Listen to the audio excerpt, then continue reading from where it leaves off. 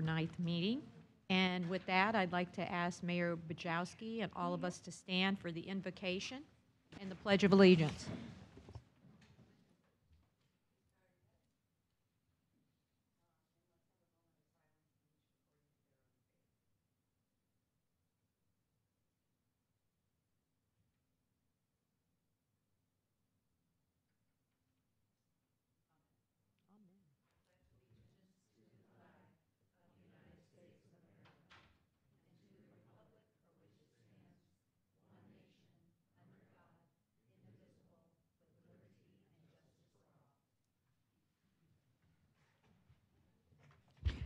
We'll do introductions at this time, and we will start with Mayor Bajalski.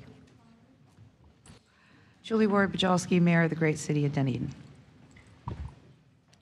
Gina Driscoll, St. Petersburg City Council, and here representing PSTA. Michael Smith, Vice Mayor of the City of Largo. Dave Eggers, Pinellas County Commissioner. Janet Long, Pinellas County Commissioner. Whit Blanton, Executive Director. Cookie Kennedy, Mayor of the City of Indian Rocks Beach, representing all the beach communities. Uh, Commissioner Cliff Merz, City of Safety Harbor, representing Safety Harbor, Oldsmar, and Tarpon Springs. Councilmember Brandi Gabbard, City of St. Petersburg. Patty Reed, the City of Pinellas Park. Bonnie Noble, City of Kenneth City, representing the inland communities. Thank you. Tina, are there any citizens wishing to be heard on any item not already on the agenda for action by the board today? No, Madam Chair, there is not. Uh, Before we start recognitions, I'm going to go up to the podium.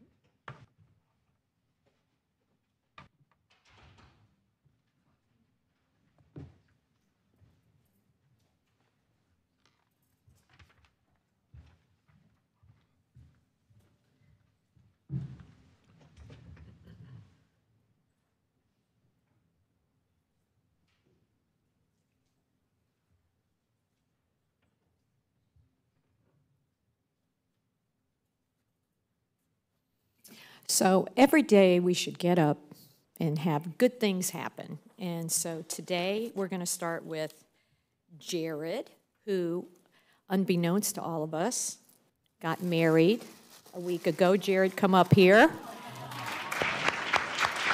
In a sandstorm in Las Vegas, am I correct? So we want to say congratulations from Forward Pinellas. You want to say anything about that day? Uh, sure. Um, uh, yes, uh, it was absolutely wonderful experience. Um, throughout the entire time leading up to that day, a number of folks um, gave me their advice saying, you know, you can only plan for what you've planned up to this point, and there's going to be some things that go wrong that you can't account for. Just enjoy the moment. Um, didn't anticipate a 60 mile per hour windstorm uh, in the middle of the desert, um, but nonetheless, um, when we finished our vows, that's when the sun peeked over the canyon, and uh, it was a really wonderful experience. So, um, thank She's you. Beautiful. Oh, thank you. oh God, stay right here. Stay right Okay. here. Okay. So I don't know. I guess marriage must be in the air because on the 12th, Christina is getting married, and I don't know if she's here today. Is she? Okay, Christina's not here.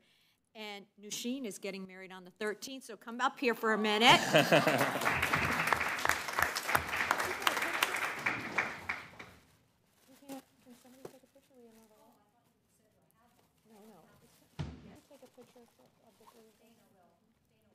Nushin, come over here. So, this is for you, and from Forward Pinellas. Congratulations. You want to say anything about your upcoming nep- Um, well, the storm is coming tomorrow. Um, so Sunday should be looking really nice. I don't think we'll have a windstorm, uh, but same thing. Jared also imparted his words of wisdom, getting married so recently, and uh, we're just really excited. I'm getting married in Dunedin, um, and uh, no, our reception is at Bon Appetit. Um, yeah, and we're just getting married in a, a backyard in uh, my in-laws' home, just a small wedding. Um, so we're super excited, and thank you all. Let me get a picture with picture.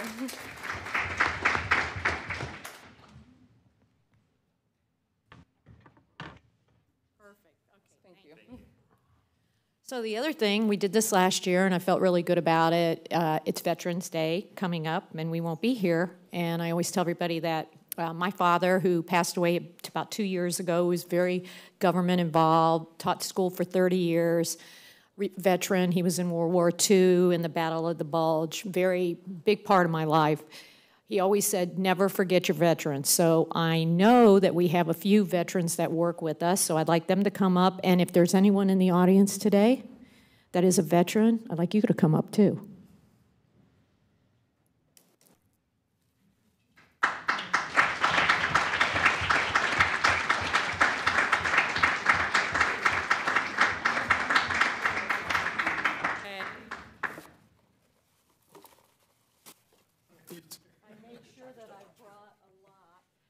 Come on, tell us what you were in so everybody knows.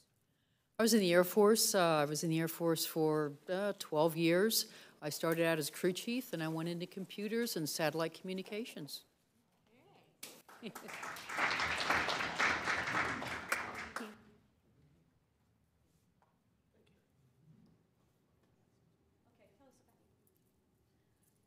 I was in the Marine Corps Reserves and never got shot.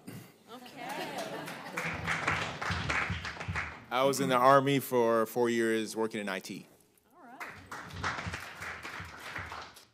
U.S. Navy uh, and served in the Persian Gulf War as a cryptologist on aircraft carriers.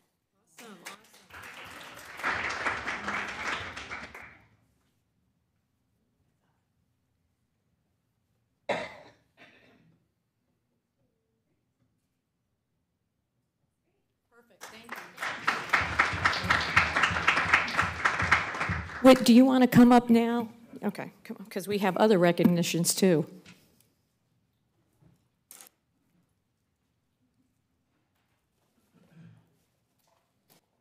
Okay, so first I would like to uh, recognize Mike, Mike Reardon, uh, who we just had up a second ago, so come back up here, Mike. Um, we um, nominated Mike as a Vision Zero hero uh, for the Gulf Coast Safe Street Summit, which we had last week in uh, Lakeland, and Mike came over for the ceremony, and all of the MPOs nominated uh, Vision Zero hero as, as a citizen or an activist who made a difference on safety. And you've probably seen Mike over the last year or two. He has been a very strong proponent for the sidewalk project on Drew Street as well as the Complete Streets project on Drew Street. And um, you know, you need people like Mike uh, to really make a difference in transportation from the community. Um, we need to hear those voices, and he's done an outstanding job of, uh, of being a really great advocate and uh, probably annoyed a few people, but that's kind of what you got to do sometimes to make a difference. So, Mike, congratulations. Thank you very much.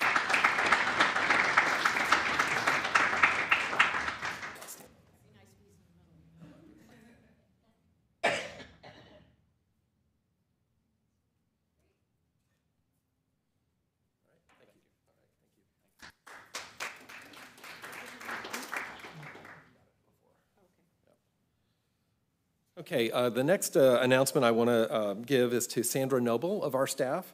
Uh, Sandra, come on up. This is for 35 years as a Pinellas County employee. And uh, yeah.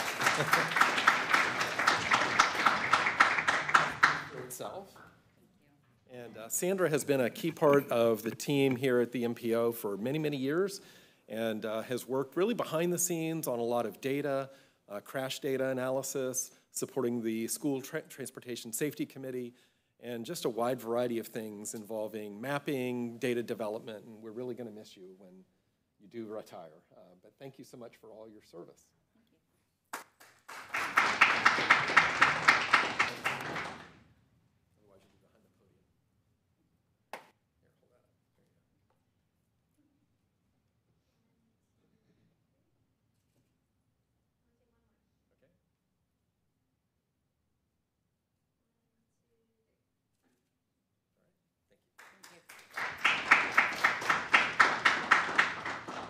And finally, uh, this afternoon, we have uh, recognition of Linda Fisher. Linda, if you'll come up. Uh, Linda has been with uh, the Pinellas Planning Council for 25 years, so this is her 25-year award. And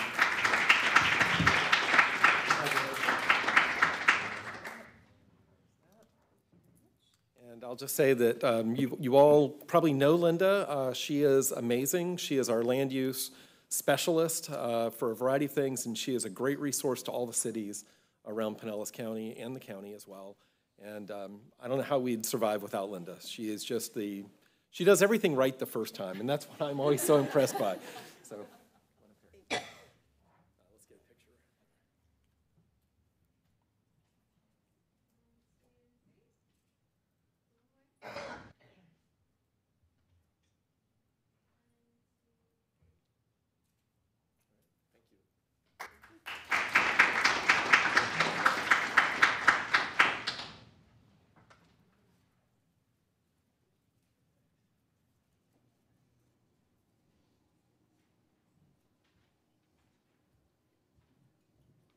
for your time this morning. I think it's important to recognize people like that, and Mayor, you do a great job of it. Okay, we'll move on to the consent agenda.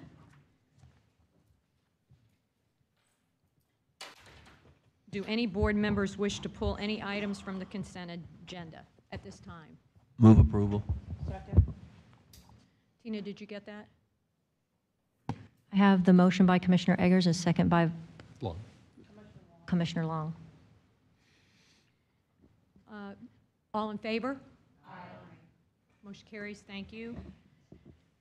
We'll go to uh, 6A, public hearing items, Metropolitan Planning Organization, which is the fall update, the Transportation Improvement Program. We'll call up uh, Ariane Ariane. Martins, and, um, you know, every year we bring in the capital improvement programs from the local governments to add them to our TIP.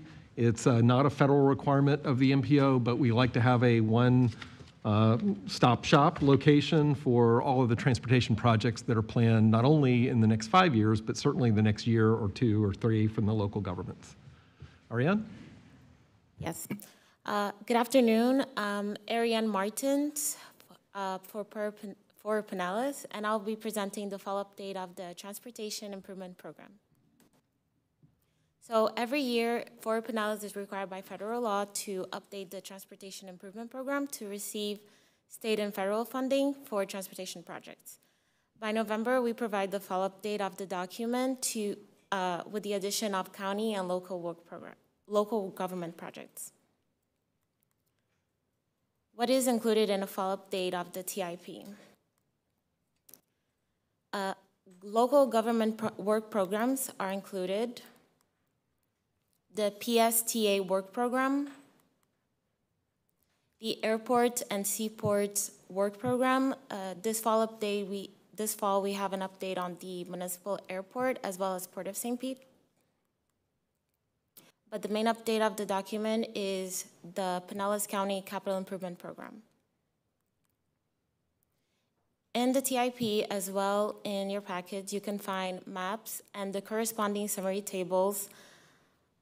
In the summary tables, you can find the project numbers, location, project description, as well as status of each of the projects in the county. You can also have an access to the interactive CIP where you can find the information and location all of all of the county projects. This dashboard is updated in real time and you can find it on our website and here's a page and a link where you can find this dashboard. Now we will discuss the project highlights of the CIP. For sidewalks and trails, the main highlights are Pinellas Trail North Gap between Tampa Road to East Lake Road. Uh, the design is currently underway. Uh, we're also, another highlight is the Pinellas Trail Loop, Duke Energy South Gap between Haines Bayshore to San Martin Bridge. The design is underway and the construction is for 2024. Also, the Riviera Road from Tampa Road to Nebraska Avenue is another highlight. The construction is predicted to 2024. This project, uh, it's, even though it's highlighted as a, it's mainly highlighted as a sidewalk project, it would also have a side path which, that has a RRFB on it. Oops. For sidewalk trails, uh, other highlights are the Min Belcher Road from Palm Avenue to the Pinellas Trail. The construction is predicted to fiscal year of 2023. Uh, Five, Project Five, Starkey Road between Ulmerton Road to East Bay Drive is current under, under design and it has construction predicted to fiscal year of 2023.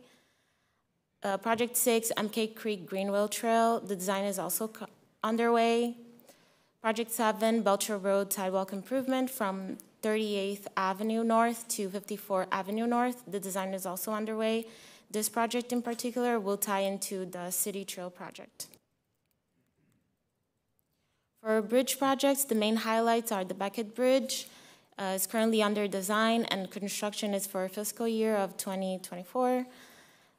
Project 9, San Martin Boulevard over Riviera Bay, and is currently under design. For major transportation projects, uh, the first project is East Lake Road from Tampa Road to Trinity Boulevard. It's a roadway improvement pro- project, and it's under preliminary engineering. Projects, the second project is Starkey Road, Flamevine to Bryan Dairy Road. It's a reconstruction and widening project, and it's currently under design. Project number three is Starkwood Road from Bryan Dairy Road to Ulmerton Road. It's a roadway improvement project, and it's currently under design. Uh, project number four is Sunset Point Road, and it's between Highland Avenue to Keene Road. And it's a roadway improvement project, and it's under preliminary engineering. The fifth project is on Second Avenue. This is a complete street project. It's between 49th Street North to 34th Street North. It's a roadway improvement, and it's currently under design. Forward Pinellas was awarded $1 million uh, to fund this project. The sixth project is fifth, uh, 54th Avenue North between 49th Street to 34th Street, and it's a roadway improvement, and it's currently under design. The seventh pro- project is the West Bay. It's between Belleair Bridge to Clearwater Largo Road. As also a complete streets project, it's under it's currently under design, and this is one of the first projects that Forward Pinellas has taken over for complete street, and it's finally moving forward. For intersection improvement, uh, the main highlight is Belcher Road at State Route Gulf to Bay Boulevard. It's a study, and it's currently under preliminary design. For today's meeting, uh, if the follow-up date of the Transportation Improvement Program is accepted, the county uh, capital improvement project and the local work programs will be incorporated into the current TIP. I'll be happy to answer any questions regarding the TIP process. Any more in-depth uh, questions, there's the Pinellas County representatives are here, uh, Erin Lawson and Joan Rice. Any questions from the board?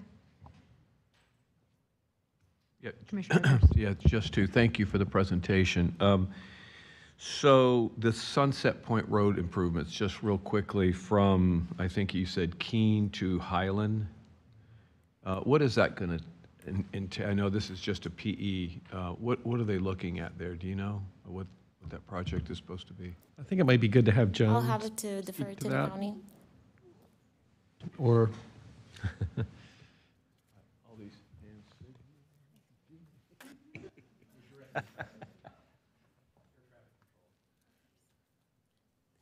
Hi, I'm Erin Lawson with Public Works and Transportation Engineering. To answer your question about um, the Sunset Point project, uh, we're we're mainly going to be looking at sidewalks there and just some, some enhancements to that roadway. Not widening? Correct. Okay. There's a lot of right-of-way there, but we're not widening.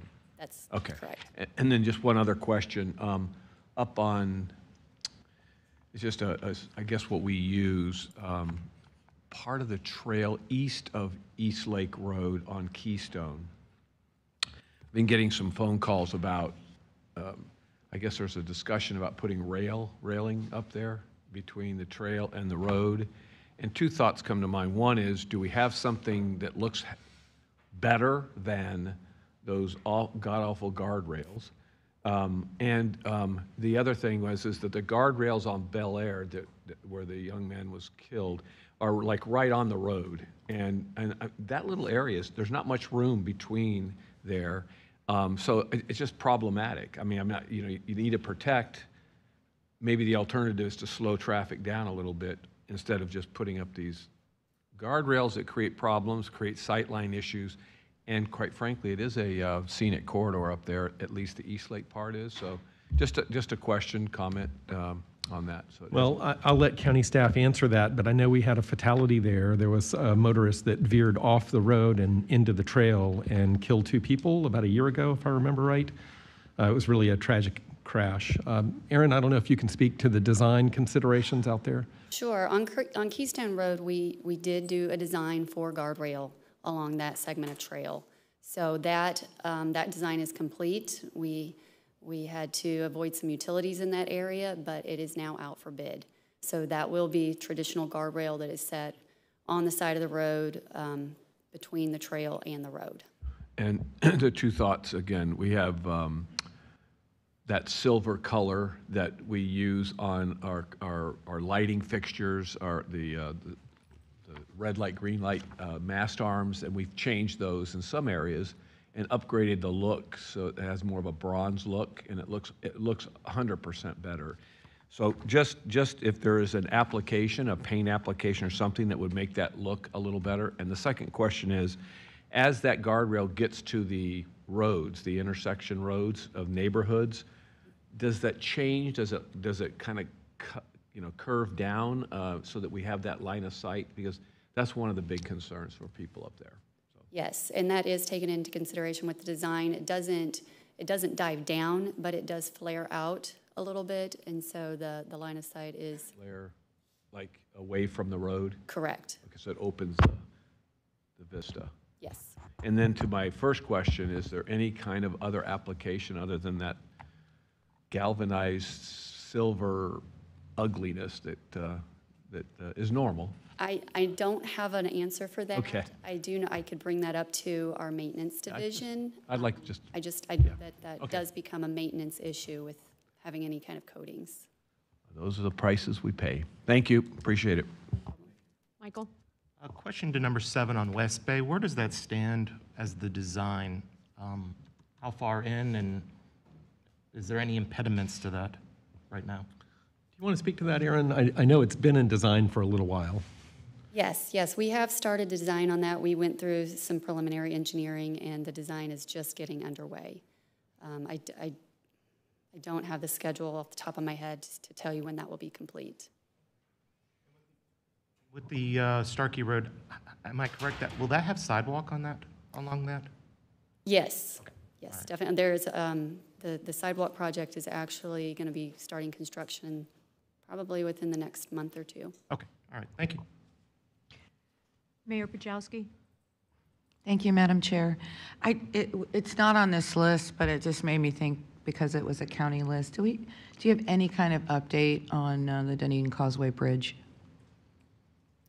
Yes, we are going through the RFP process right now, um, in, in the middle of selecting a consultant, and we'll start design on that uh, later this year, this fiscal year. On the design piece of it? Correct. Do we have? The bridges. Yeah, do we have any idea as to the, um, the timeframe you're shooting for, for construction? Funding and construction? I, I want to say that is um, 2024, 2025. I- Okay. In that time range. Okay, great. Thank you. Started construction. Thank you. Anyone else? Tina, is, is there anyone in the audience who'd like to speak at this time on this item? No, Madam Chair, there is not. Okay. At this time, I'm looking for the board to uh, approve the fall update to the Transportation Improvement Program. Is there a motion? Motion to approve. Second. Okay, uh, this is a roll call vote, so Tina, would you take roll? Councilmember Floyd, Yes. Commissioner Merz, Aye. Councilmember Gabbard. Yes. Councilmember Reed. Yes. Councilmember Noble. Yes. Mayor Bujalski? Councilmember Driscoll? Yes. Commissioner Smith? Yes. Commissioner Eggers? Aye. Commissioner Long? Aye. And Mayor Kennedy. Yes, That passes unanimously. thank you. Erin, thank you. Thank you so much. Uh, Next, we're going to move into the Pinellas Planning Council. We will now uh, conduct, conduct it as follows. I will first ask Forward Pinellas staff to present the item. Applicant local governments are available for questions as needed. I will then ask for proponents of the proposal to speak, then opponents, and finally, any other citizens who wish to comment or ask questions on the case. We will then hear rebuttal by the applicant as necessary, and a staff response or summary. At that time, the board will ask questions, and then we will close the public hearing, and the board will deliberate and take action.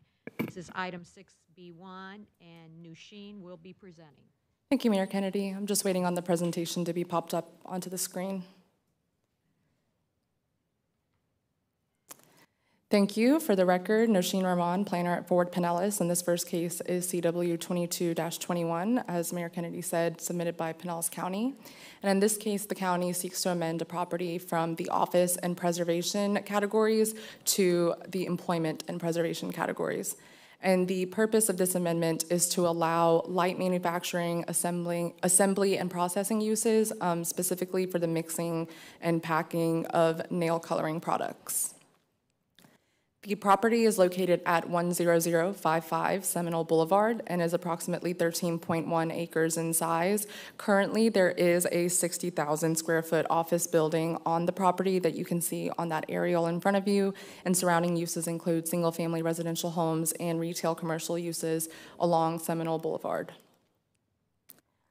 Now, this is an image of the front of the subject property, which is that office building that exists um, on the amendment area. The rest of the area is preservation um, and kind of goes into the um, Seminole Lake area that you can see on the current countywide plan map. In front of you, and that also shows the current category of office and preservation with um, water uh, along the amendment area as well that does not have any designation. And in front of you are just the permitted uses and density and intensity standards of the current category. Um, and because the applicant proposes to utilize this property for um, assembly and light manufacturing uses, that is not an allowable use under the office category, and hence um, the proposed amendment is to the employment category. Um, so the area with um, the 60,000 square foot office building, that is the only part of the amendment area that will be going to employment, and the rest of the amendment area will be maintained um, under its preservation designation in order to conserve that land. Now, as you're aware, one of our countywide considerations is whether um, an amendment area is in the CHHA or the coastal high hazard area, and the vast majority of this amendment area is in that. However, the proposed amendment to the employment category will actually remove all allowable residential developmental potential from the amendment area, and there will be no impact to the CHHA as a result of this amendment. And to conclude, this proposed amendment is appropriate for the intended purpose and is consistent with the locational characteristics of the employment and preservation categories. And on balance, it can be concluded that the proposed amendment is consistent with the countywide consideration contained in section 6531 of the countywide rules, which are shown here in front of you. And lastly, there were no public comments for this case, concluding this presentation. Thank you, Nushin. Is there anyone on the board who has any questions at this time? Okay, hearing none. Tina, are there any proponents? Madam Chair, there are no proponents, opponents, or other citizens to be heard on this item. Okay, good. Uh, Looking for, I'm going to close the public hearing, and I'm looking for a motion? Or move? a- Second. Okay, I did not get those, I'm sorry, Mayor Kennedy. okay, Second. okay, all in favor? Aye. Okay, thank you. We'll move on to 6B2, and again, Nushin? Thank you. Just waiting on that presentation to pop up again.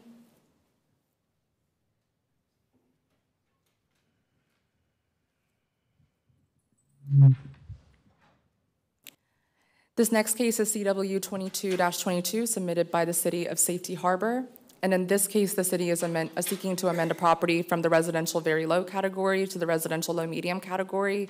And the purpose of this amendment is to allow for the development of single-family detached dwellings.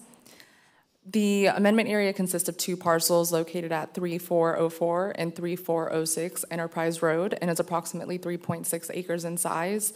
Um, The existing uses on the property include a greenhouse, a workshop, plant nursery, and a single-family home. Um, This used to be a plant nursery business that is no longer operating, and surrounding uses include single-family residential homes.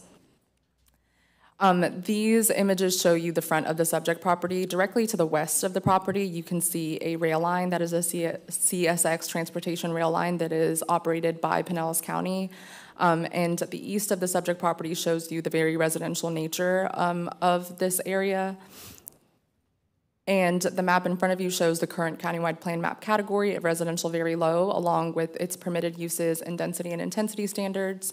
And as mentioned, um, the intent is to develop single-family detached dwellings on this property. Um, the density of that would be higher than is allowed under the residential very low category, hence the proposed amendment to residential low medium, the standards for which you can see in front of you here.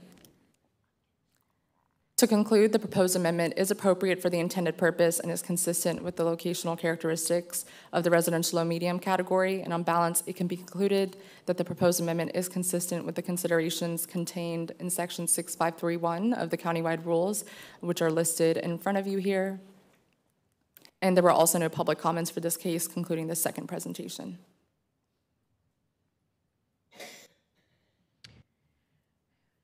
Are there any questions at this time for any of the board?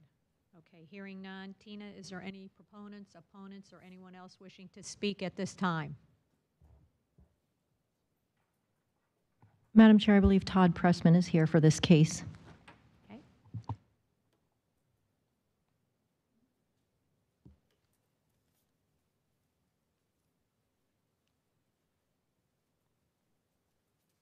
And Mr. Pressman, you'll have three minutes. Todd Pressman, 200 Second Avenue South, number 451 in St. Petersburg. Um, Good afternoon, Ms. Chairman, board members. I think your staff has presented this very well, um, and uh, they found it very consistent on all standards. So we would ask your consideration and support. Obviously, this comes to you from the city with their support as well, and we appreciate their time and attention. Thank you. Thank you, Todd. Any, any other questions? Before I close the public hearing, we'll close the public hearing, and we are looking for a motion. Yes, sir.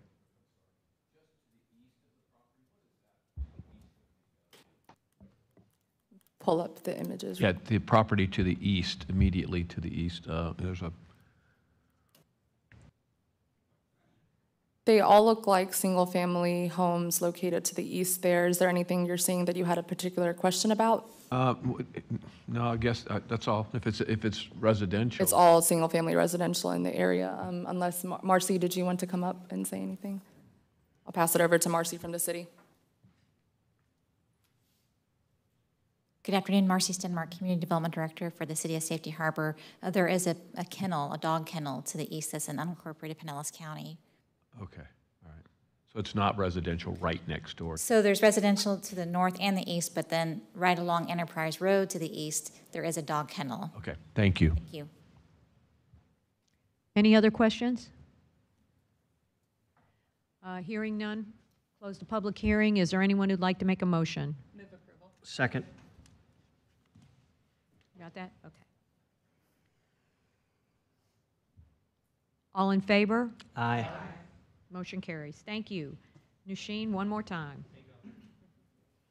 Thank you, Mayor Kennedy. This last one is CW 22-23, submitted by the City of Clearwater.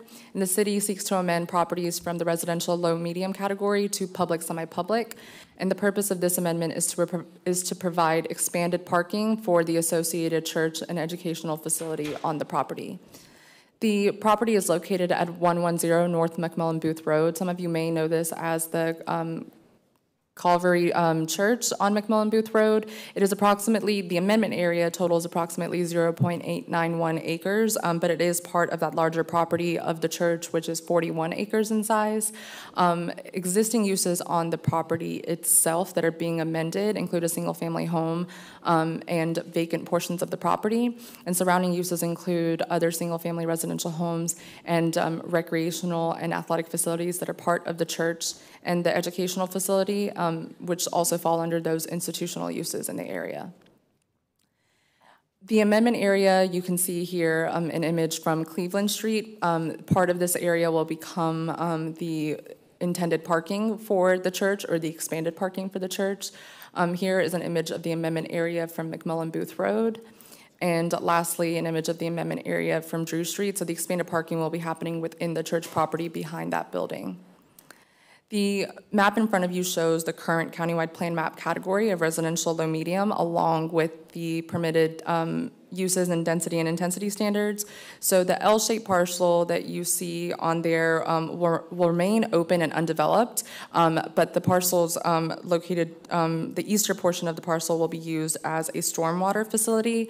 Um, and Again, this is all for the purpose of creating a more comprehensive parking plan um, for the church, um, hence the proposed amendment to public semi-public, which will bring this entire area into consistency um, with the greater church use. To conclude, the proposed amendment is appropriate for the intended purpose and consistent with the locational characteristics of the public semi-public category, and it can be concluded that this amendment is consistent with the relevant countywide considerations contained in section 6531 of the rules which are shown here in front of you. And there were no public comments for this case, wrapping up this presentation as well. Thank you. Thank you, Nusheen. Are there any proponents, opponents, or anyone else wishing to be heard, Tina? No, Madam Chair, there's not, but I can hear you better now. Okay. I don't know what that was. I thought maybe I had my paper over thing, but I guess it wasn't. Okay. Uh, Any questions from the board after I close the public hearing? Hearing none, is there a motion? Second. All in favor? Aye. Motion carries. Thank you, Nusheen. Okay. I think we go to presentations and/or action items, and at this time, it would be PSTA, and this will be Councilmember Driscoll. Thank you. The PSTA Board last met on October 26, 2022. Um, Here are some of the highlights. Our CFO presented the interlocal funding agreement with Pinellas County on the Clearwater Transit Center. PSTA has developed a project budget of 44.5 million, including contingency for the design and construction of the Clearwater Transit Center. An estimated 10 million funding gap exists, and the county recognizing the benefits of the transit center to the entire county, agreed to provide up to $10 million on any final funding gap. I repeat, any final funding gap. The PSTA board unanimously approved the agreement. We had um, a discussion and presentation from our state and federal lobbyists on our legislative priorities for the 2023 year um, based on the legislative committee's meeting. On the state level, the highlights include electric transit vehicle infrastructure, maintaining and enhancing our regional TD Tampa Bay program, allowing for flexibility in state transportation funding so that it can be used for transit and to allow pre-award authority for state grants. Then on the federal level, um, highlights of our priorities include the passage and signing of um, FY23 appropriations bills to secure funding for solar-powered electric buses and facility charging infrastructure to ensure the highest possible FTA funding levels. Maintaining existing fair regional funding split for FY 2023 federal, federal funds and prioritizing funding from USDOT grants for a congressional directed spending request for battery storage and electric bus charging infrastructure. Also prioritizing Low-No funding, bus and facility funding, ferry service capital investment, and other federal funding for transit. The next meeting of the Board of PSTA will be held on December 7th, 2022 at 9 a.m. Thank you. Yes. I would just like to add uh, to that report that um, PSTA's um, Heather Sobush and I are going to be presenting together in a webinar on Monday uh, statewide uh, at the request of the Florida Department of Transportation on um, best practices, or at least a case study on MPO and transit agency coordination, particularly as it relates to the uh, transit agency's transit asset management plan and uh, public transportation safety management plan. Those are a mouthful, but those are a couple of um, requirements that transit agencies have to fulfill, uh, and they are sort of internal documents to PSTA. Uh, but we have had a pretty good partnership over the last several years where they support our performance metrics and we support theirs, and we coordinate um, very frequently to talk about how we can help achieve each other's objectives.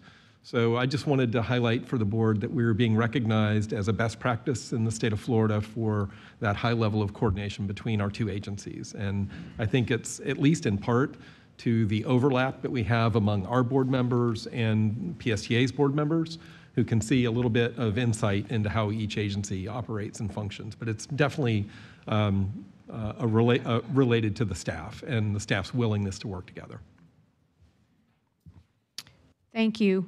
Commissioner Long, 7B, T-BARTA. Excuse me. Thank you, Madam Chair.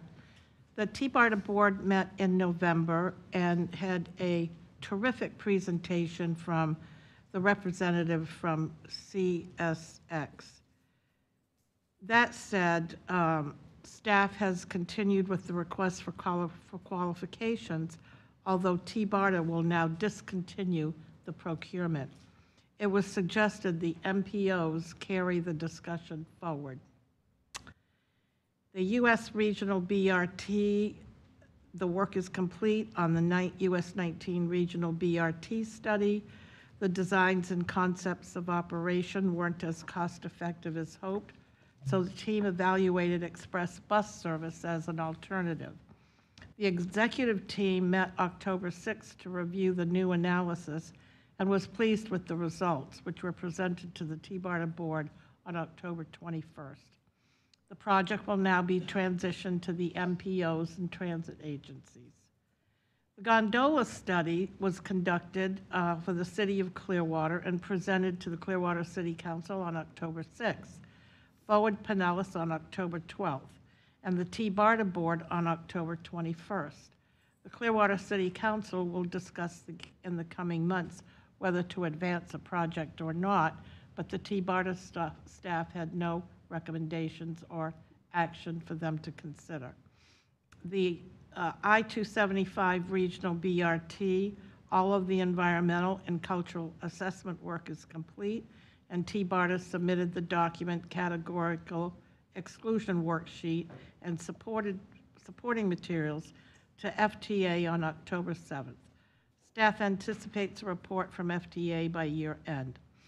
A final presentation to T-BARTA's board is scheduled in November.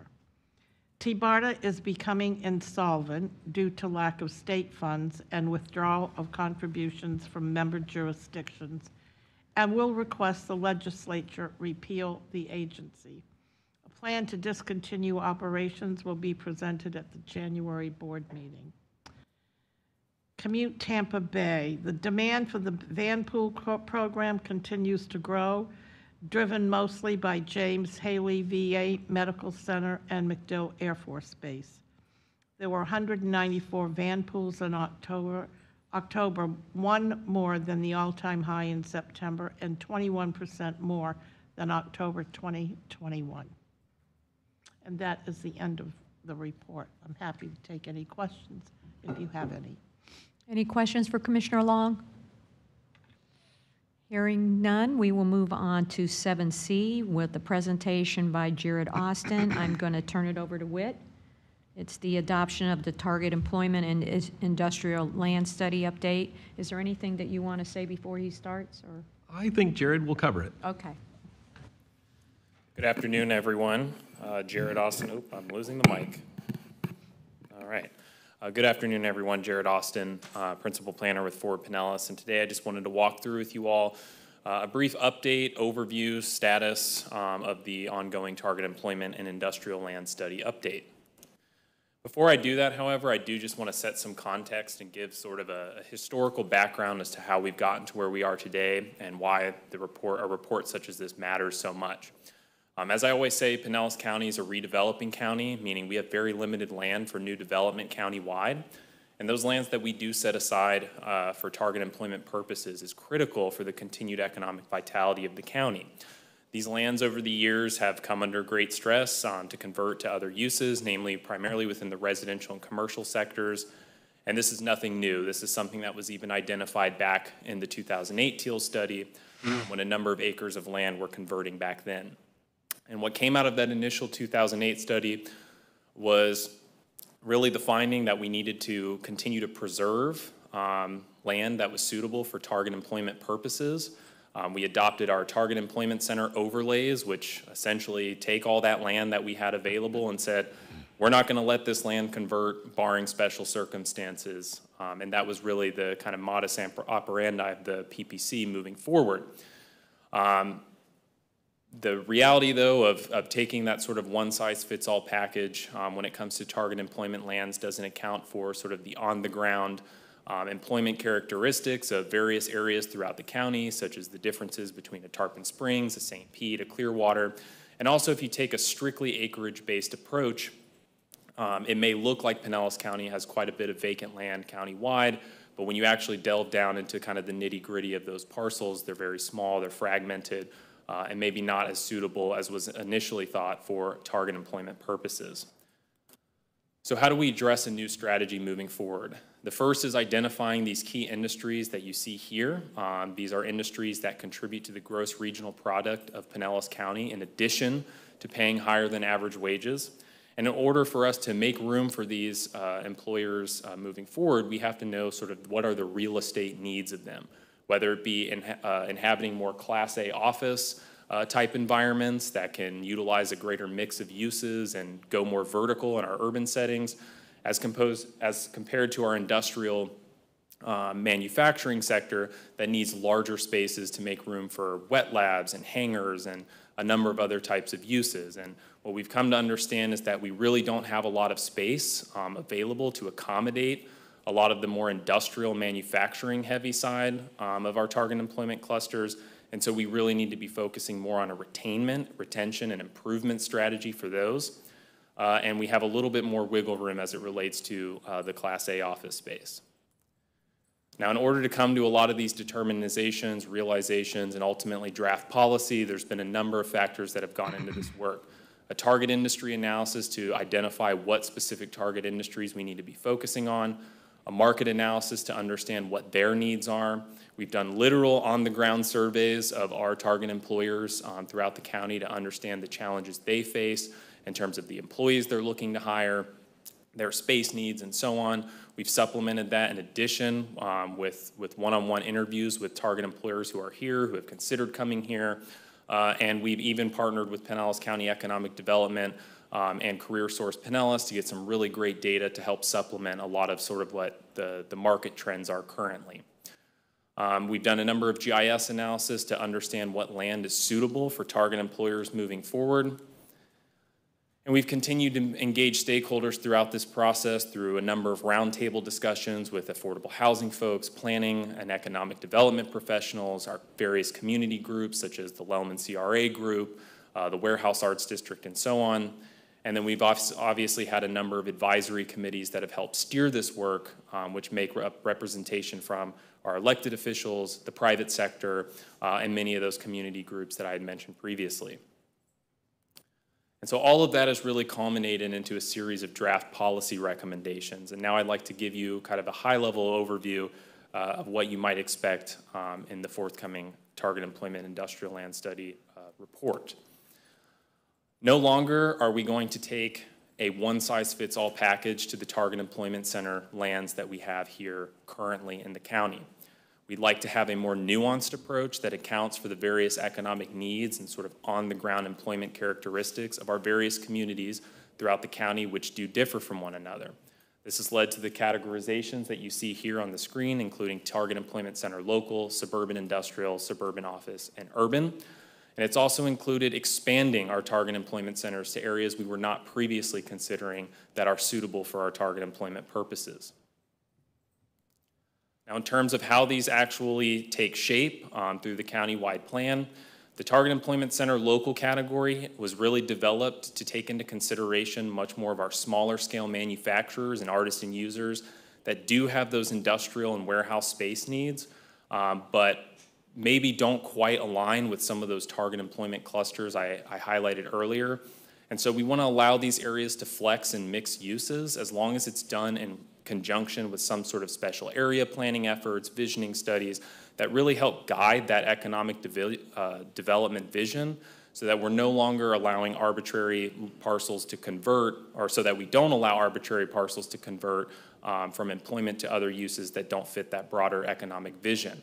Prime example of what we've really tailored this for is areas like the Warehouse Arts District. Um, they are a community that has crafted a very distinct economic uh, vision for themselves um, and we want to allow that to continue to flourish. Now, uh, other TEC locals may not want to take the more warehouse arts district approach. They may want to go more on that target employment side. We want to allow that as well. This is ultimately developed to give local, greater local control over how these areas set out on their economic vision. The next category is suburban industrial. This is more what we think of in terms of our traditional manufacturing and industrial uses. Um, these are really those areas that we want to have that greater focus on retainment, retention, and improvement. Um, these are areas that are not as suitable to flex uses, um, and so we really are only looking to allow for those industrial employment uses um, in conjunction with perhaps some commercial uses as long as those target employment metrics are still preserved. Prime example of a suburban industrial area would be the Hercules Industrial Park in Clearwater. Another category, suburban office. This is more suited for those Class A office users that are looking to be in a more horizontal campus-style environment like you see here on the screen. Here we want to encourage a greater mix of uses, including residential and commercial, as long as the target employment uses continue to be preserved. Uh, prime example would be the Northern Gateway area um, in Bay Vista. And then lastly, our most sort of dense and intense um, target employment center category is that of our target employment center urban category. This is suited for target employers that want to be an environment um, that has retail, commercial, residential, all within a walkable travel shed, um, and really in those more downtown cores. So a prime example would be downtown St. Petersburg, um, as well as downtown Clearwater. Some other recommendations that will be included in this report. Better aligning our workforce development strategies with the target industries we've identified here, continuing to monitor and understand in partnership with Pinellas County Economic Development and Career Source where we are succeeding in terms of meeting um, the job skills uh, associated with these target industries and understand where we are also lagging so that we can better align our workforce with these target industries and continue to do a wonderful job of providing a job for each Pinellas County resident. Next is revisiting the housing compact work and doing a suitability analysis for housing just as we did for target employment lands. Just as we looked at uh, a number of factors to understand what lands were most suitable for target employment. We think we also need to do something similar for workforce housing uh, and affordable housing so that the two are no longer in conflict with one another. Some other recommendations will include small area planning for target employment centers, just as we're moving away from having this one-size-fits-all package where appropriate it may, necessary, it may be necessary um, to work with our local governments to address issues such as consolidated stormwater strategies, placemaking efforts, uh, providing additional incentives for infill and redevelopment, continuing to factor in the TEAL's findings uh, and report into our ongoing economic development visioning work, and incorporating regular updates of the data that was incorporated into this TEAL's update into our long-range transportation planning cycle uh, so that we can better uh, remain proactive on uh, the market side of things rather than reactive. Now, And as a part of this work, we've engaged a number of stakeholder groups, uh, a number of interested parties, um, and we have gone out and met with them um, and to, to show them these proposed recommendations to get their feedback. The Warehouse Arts District folks were very supportive, and in fact, if they had any complaint, is that we couldn't make these happen even quicker.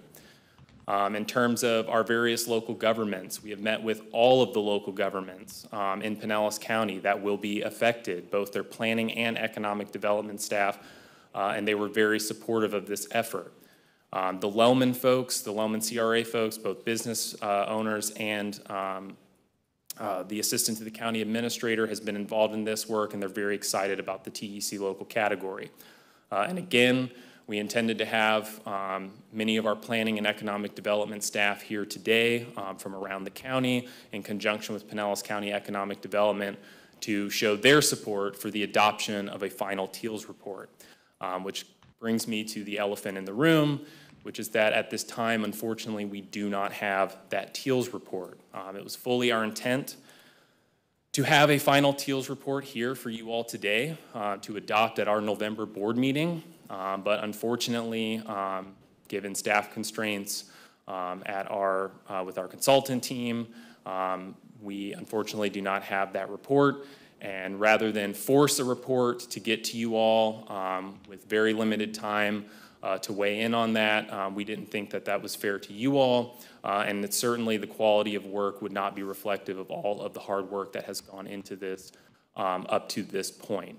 Uh, and so because of that, we want to deliver a quality final TEALS report, um, and because of that, we'll be looking to move adoption of that final report to our January board.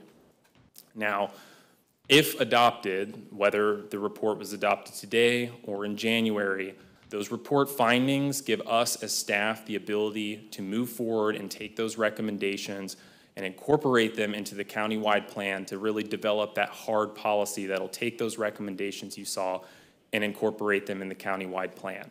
That time frame will now take between January and May to draft, and we would bring back those final um, countywide plan related updates in May of 2023 after which local governments would be able to begin updating their local comprehensive plans to factor in any of the TEAL's um, recommendations that have adjusted the countywide plan in any way. So again, um, just want to reiterate um, our commitment to delivering a quality report. Uh, and while we don't have that um, here today, I do believe um, that when we do have that report, it will be reflective uh, of the hard work that's gone into this. With that, uh, I'd be happy to take any questions that you all have at this time related to the report, status um, of the TEAL's work, and so on. Are there any questions at this time for Jared? Commissioner Merz? Commissioner Merz, can you use your mic, please? Sorry about that. Thank you, Jared, for the presentation. Um, a little disappointed in the, the ability that the, the report uh, is, is not available for today as discussed, but I understand the, uh, the desire to present uh, a complete report when ready. I do have a question on the other recommendation slide that talked about workforce development strategy alignment with target industries. I have a number 24 on it. I'm not sure what that was. Oh, sorry. Yeah, the slides are a little, Yeah. yeah. The, uh, I like the inclusion of the red listings, which are the positions and challenging skill sets upon reading them, one kind of surprised me, and I, I, wanted to get maybe some further clarification, or in light of the additional time that you have now, maybe they'll give you the opportunity to, to, to get. But the last one under medical technologies indicated not competitive with surrounding metropolitan areas, and it indicated Atlanta and Nashville and Charlotte. And considering the purpose of this is to, you know, look at reasons why. Right. Um, just the statement that it's non-competitive to me would be something that should be fleshed out a little bit. Certainly. You know, um, why? Because, you know, we've got some pretty impressive regional medical facilities here, whether it's, you know, USF CAMLS or Moffitt Cancer Center, Right. various places. So you, you would think that we would be on par. So if there are reasons for non-competitiveness, especially if it's in skill sets or people or stuff like that. I think that would be a uh, an additional piece of information that would be useful for the region. Certainly, and I can follow up with our career source, um, Pinellas folks, as well as um, PCED, and see if we can better elucidate a little bit about why that is the case. So, Thank you. yep. Jared, I'm going to jump on Commissioner Merz. Uh, You know, there's several of us who won't be here who've been involved with this. Uh, When this comes about, you'll have a new board in May. Um, Is May the, the very soonest? And, and I understand that we want a complete com- uh, report, or is, where you, where are you going with that? I mean, Yeah, so the actual report itself, we're looking for January timeframe. That's going to be what really um, highlights those key recommendations and findings of the, uh, that I've, I've highlighted here. But the May timeframe is really for when we actually have updates to the countywide plan. So the report gives us the data, the recommendations, this is what you should do. We then, as staff, have to go actually find a way to implement those uh, as best as possible through the countywide plan. And so those updates will then come in that May timeframe. And that's really to align with a lot of the updates that our local governments are doing with their comprehensive plans so that we're kind of moving at the same time rather than they've updated their comprehensive plan and then they have to come back with these new recommendations. So that's sort of what's been the, the mindset there. Um, I'd like to make a special request that when that does come up, that Bon, I know Bonnie and uh, Commissioner Merz and myself, is there anyone else leaving besides the three of us? Is there someone, is everybody else still going to be on the board then?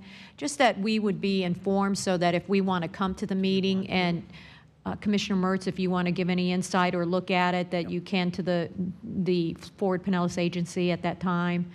Um, How do you feel about that? Sure. Okay. Um, That would be fine. Bonnie, Just, uh, you okay with that let- too? Let us know. Okay, Thank so you. if, if you could just keep us informed, Absolutely. and then, you know, we can come if we so desire. Yeah, and we'll ensure that that final report um, is still sent to the folks um, that you mentioned, and then that way, if there's still further information, feedback they'd like to provide um, about what they'd like to see in there, we can, we can capture that and make sure it's reflected in that document. Okay. Good comment, thank you. Okay, any other questions? Michael? Uh, Good pre- presentation. Um, You said you met with all the uh, government entities, the cities and stuff. What was the biggest challenge they had or ideas that they thought could flush out a little bit more? Um, I don't know if they would say challenges, but they're just curious. I would say that the thing that they're probably most curious about is what are the specific incentives we're going to incorporate um, into these various TEC categories. So like, um, what would be the new density and intensity standards that we would allow to try and get the growth that we're looking for, the development we're looking for in those areas, um, in the way that we, the report is sort of uh, pieced together. Um, that's about all um, I think we heard in terms of maybe some of the challenges or questions that they had. Obviously, um, the specific, you know, sites or parcels, how those all get fleshed out and which ones get picked up in those new categories, we're going to be continuing to work with the locals on that. We've already informed them that it's not the last they've seen of us on the teal stuff. We will be back to meet with all of them when we have those tangible, hard policy um, recommendations for the countywide plan. So, yeah. I'd like to just add to that question. It's a good question, but I think more than just land use changes and, and policy. Uh, the report identified that there are a number of these target employment centers that, that need some reinvestment. And that they've, they've lagged in that investment. And a lot of that is infrastructure. Some of it's stormwater, some of it's transportation, uh, roads and whatnot. So I think we need to really put our heads together with our local government partners about how do we incentivize or encourage capital improvement program projects, like you just heard from Ariane earlier, that are tied to some of these target employment centers, like the, um, the Hercules Industrial Park in Clearwater is one that, that certainly needs a little bit of investment. The one in Lealman is another one that has flooding problems. So that's going to be another concerted effort of just ensuring that we're investing and reinvesting in the ones that are, that are most viable and that we really want to preserve and protect and strengthen. Councilmember Driscoll? Thank you. Um, Well, starting with the, the slide that you have here, when analyzing the different target industries and like the opportunities and challenges, is that looking at these industry, industries um, for our area as a whole, or only as it applies to industrial land uses? Uh, it's specifically for these industries that are present within Pinellas County. Um, so I'll just say a number, so many of these industries, like uh, some of the business, financial services, IT, they don't necessarily have to be on industrial land. Right. They can be on commercial land, um, office, a number of Okay. other uses. Yeah. Okay. um, When, when looking at the, the challenges and opportunities and analyzing that for the medical technologies and life and marine sciences, and when I, when I think specifically about marine science, for example, um, we have a very strong marine science sector in St. Petersburg, not in, not on land that's considered industrial or, or vacant. Certainly. But, you know, the USF College of Marine Science, you know, creates a very strong educational pipeline there. And then nearby, we have Eckerd College with one of the premier marine science programs in the country. So I would say that with that educational pipeline that we have and the fact that right outside the front door of the College of Marine Science are jobs um, that help us to retain that talent as well when they finish school. And there's just so much great synergy that happens there that I'm, I'm not sure when I look at the challenges, I can understand um, why that's not weighed in. I mean, yes, it is, uh, many of those jobs have higher than average educational requirements, but we're positioned to make it easier because once you finish your, your, um, um, bachelor's, when you have your, when, once you get your bachelor's degree, you can work in that field while you're going to school, you know, to get, um, to go further in your education. I mean, we have just this amazing network to help people get there where, yeah, maybe if you had to go um, out of this area in order to get that education and then come here to get the job, yeah, it's a little bit harder, but I think we have just an amazing ecosystem for that particular industry.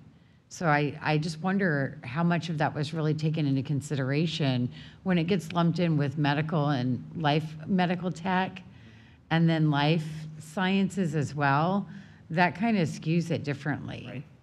Yeah, um, couple things. Um, to that point, yes, I completely agree. Um, the reality is, in having some of those broader clusters, um, when you have things such as med tech and a number of other professional scientific services that get factored in there, it could be something that's weighing it down. That maybe the marine science is doing very well, and some other sectors are, are maybe skewing that a little bit.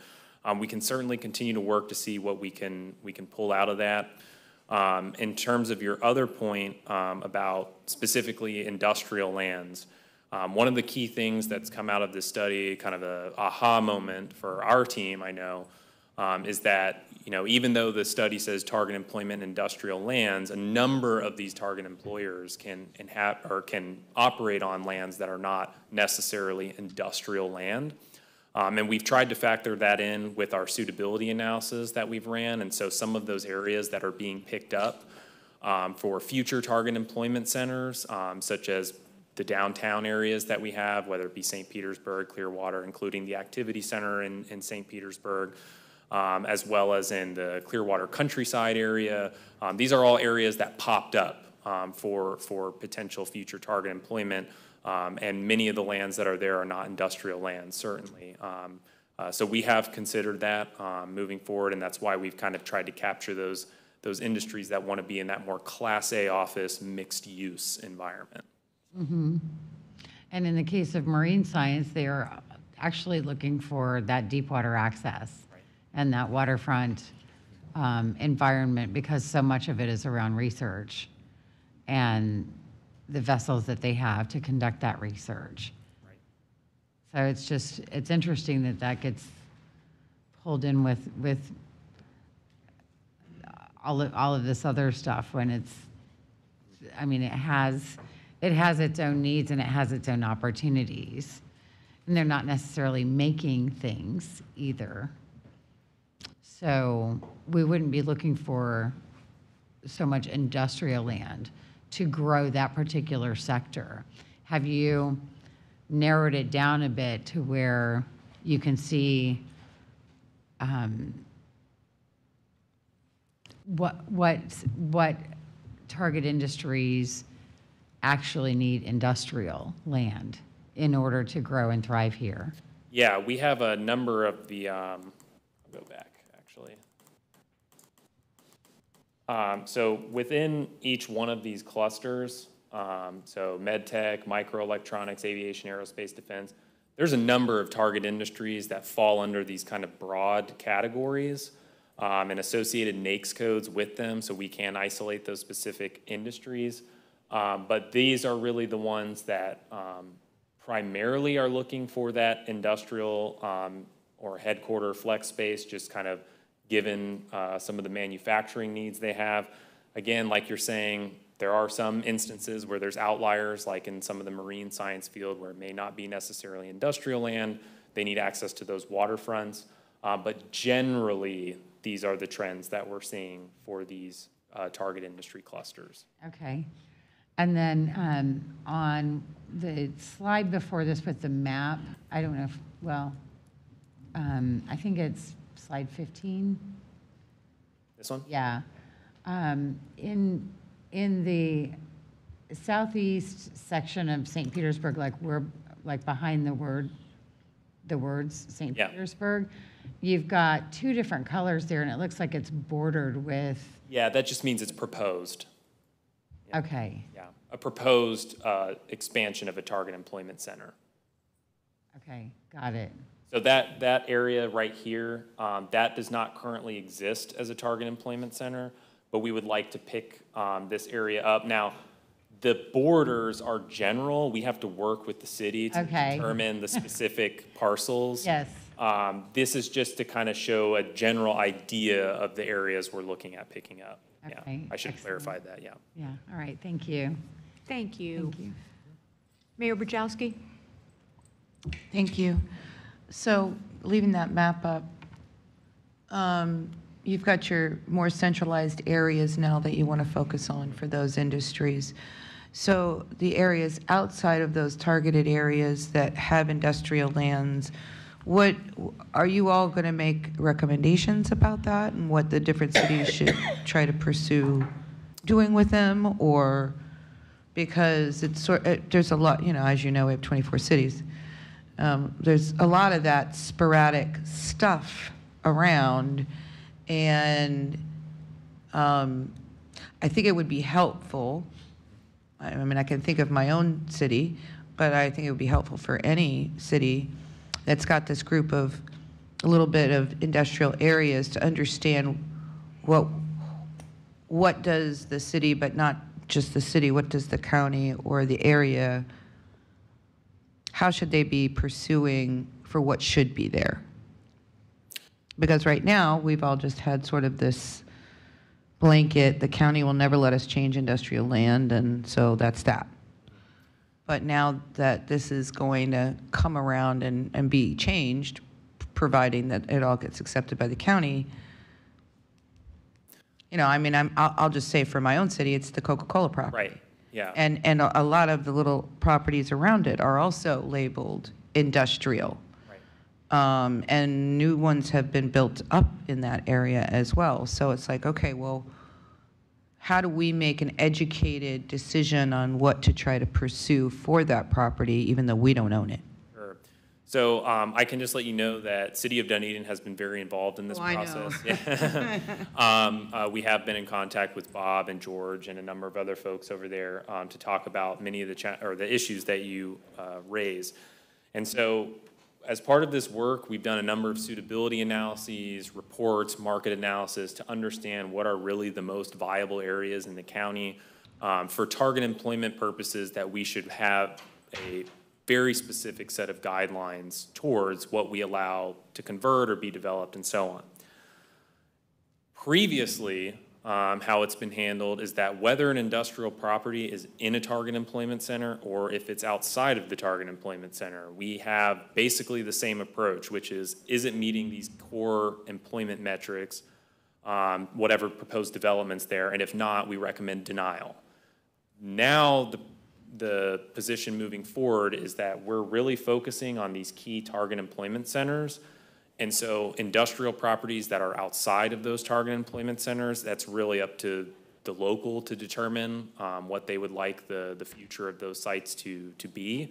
Um, and we will not be taking the same approach that we've had in the past. So is there, or will there be maybe at the county level, uh, again, amongst all the different um, organizations and government agencies that you're working with, will there be opportunity now that you've made these kinds of proposals slash decisions, recommendations, where there, will there also be the chance to look at these other properties that are not in these areas and assist whatever city it is, whether it's mine or somebody else, when they have a larger piece of property to, to understand what would be best suited for that area? Yeah, um, we always welcome more coordination, um, and I know that that's something that Bob's brought up in terms of coordinating with Pinellas County Economic Development more to kind of make a deal happen um, for some of these sites that you've mentioned. And um, we certainly want to encourage that, and I think our team will put our heads together a little bit more about how we uh, how we approach some of the lands you're talking about outside of the TEC. Yeah, and I, and that's kind of why I bring it up, because, well, you know, in the past, and, and, and the problems we've had in the past, the, the same people aren't in those positions anymore, but I mean, we've had a difficulty with, with Pinellas County Economic Development in the past. That's not happening, but it would be great if there was sort of this, hey, particular city has this larger piece of land. I'm not talking about, you know, the corner lot, but a larger piece of land that could be good for something.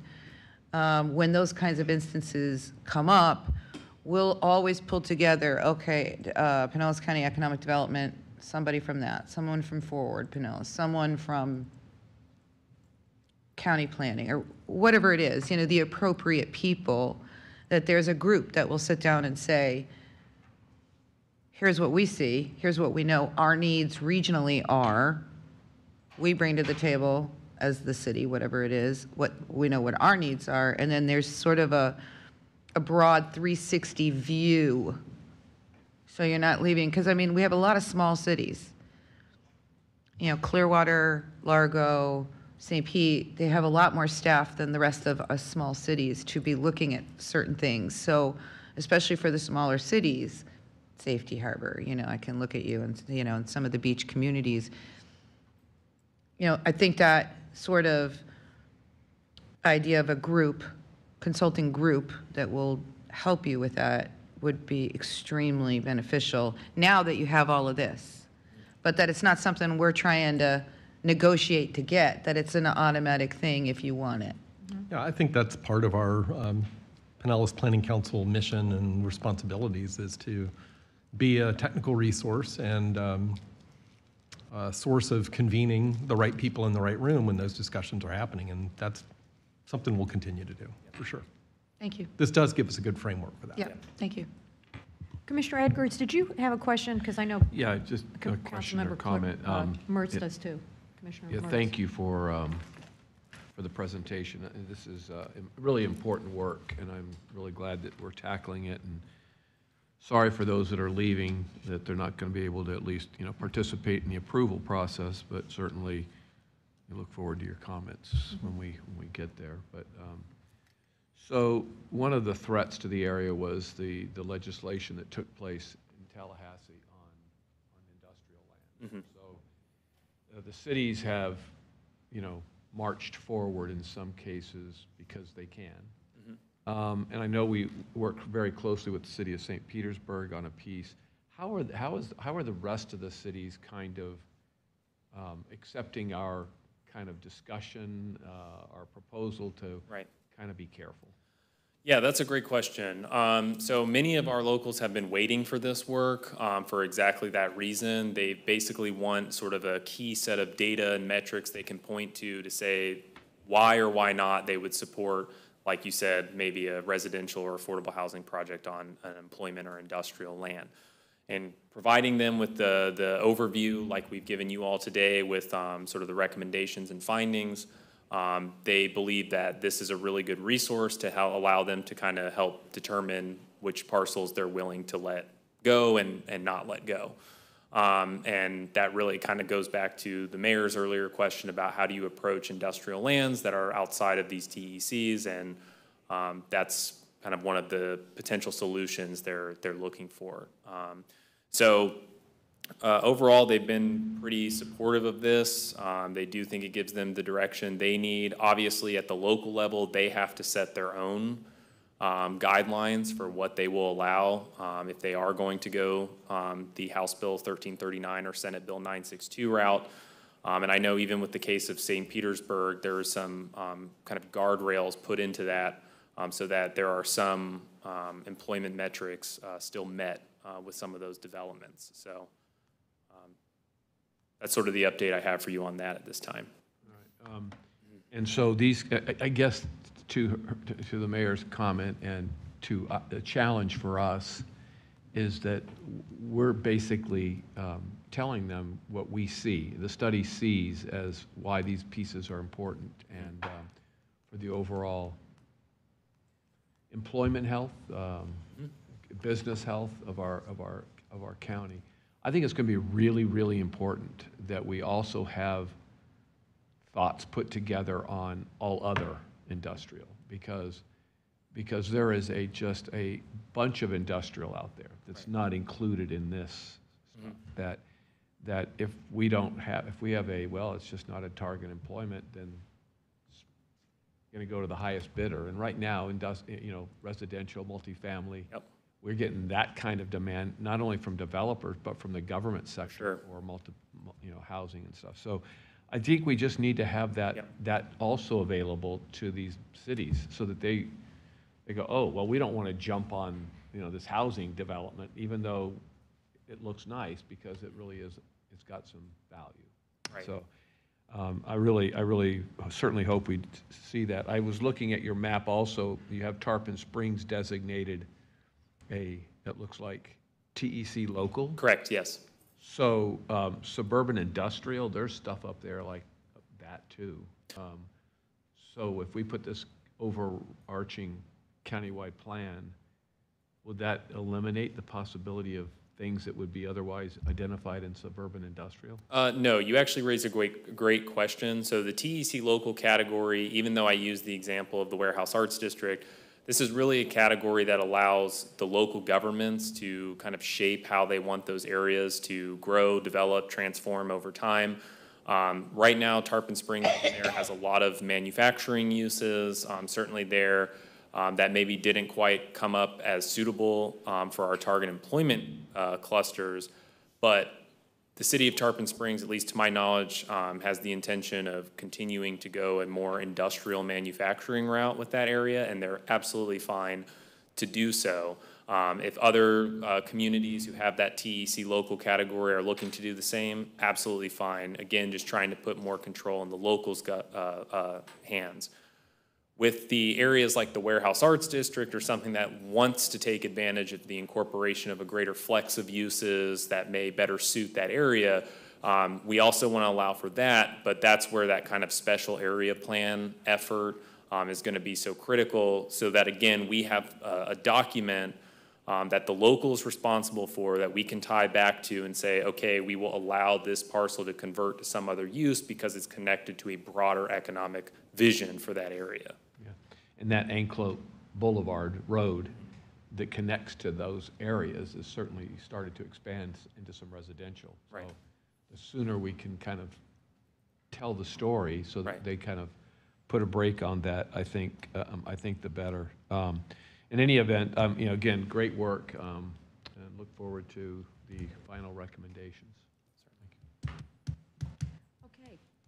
Commissioner Merz. Yes, thank you. Um, I'd like to follow up, very good discussion. Um, I'd like to also follow up on Councilman, uh, Councilmember Driscoll's comments. Uh, Being an ocean engineer and, and being at the College of Marine Science for 25 years now, um, I want to make sure and, and leave with y'all, considering this is my last uh, meeting, um, obviously, maybe a perception of marine science is that it's focused in the water.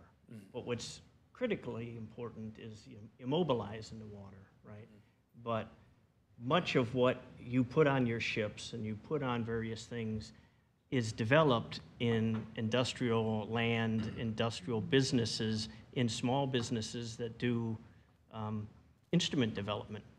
And I can't tell you how many industrial parks I've been to over the years, going to various places and seeing various people work on optical systems or various kinds of systems. They're all in areas that potentially could deal with flex and could deal with, with uh, you know, um, machinery and machine shops. And to be able to, to take an architectural design and turn it into a product in in what would be considered an industrial area, and then sell that and provide that to researchers who then take it on the ships and do that kind of work.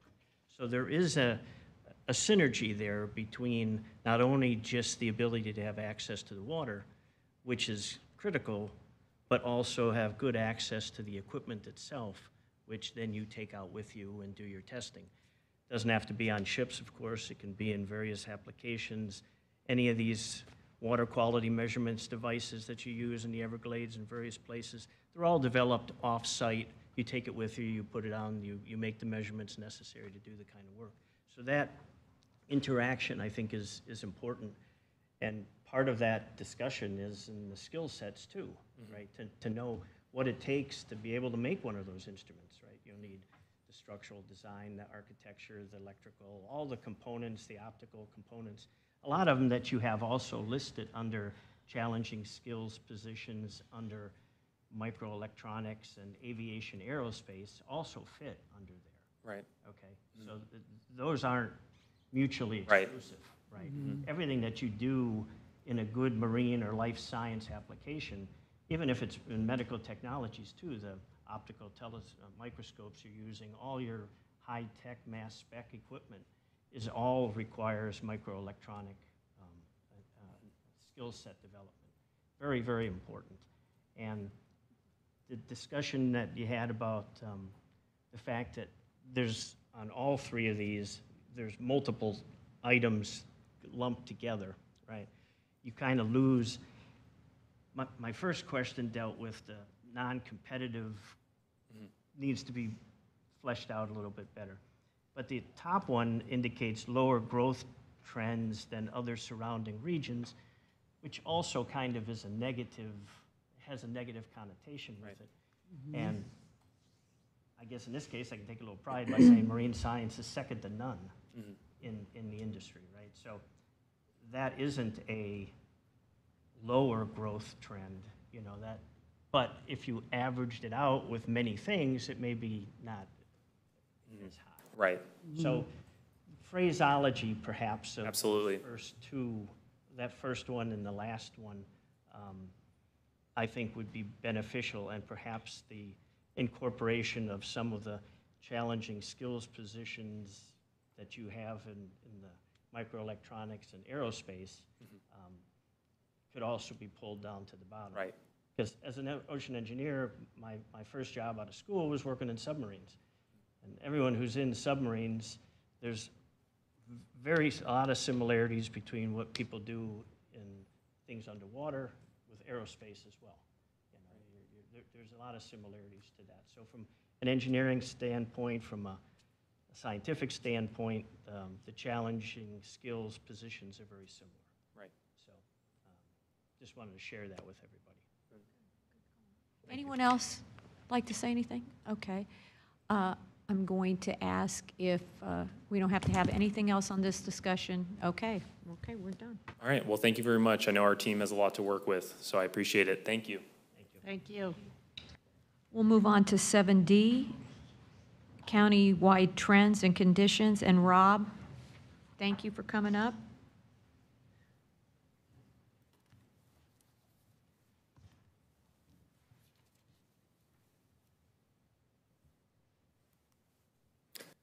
Rob Feigl, Forward Pinellas. I'm going to present a brief summary and highlights of the Countywide Trends and Conditions Report.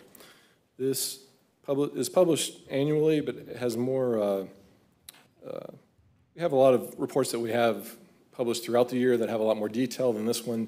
This report is sort of a high-level snapshot of the big picture of things, both geographically in the terms of, in terms of it being countywide, and also time-wise with regard to it being a five-year trend with a lot of the statistics.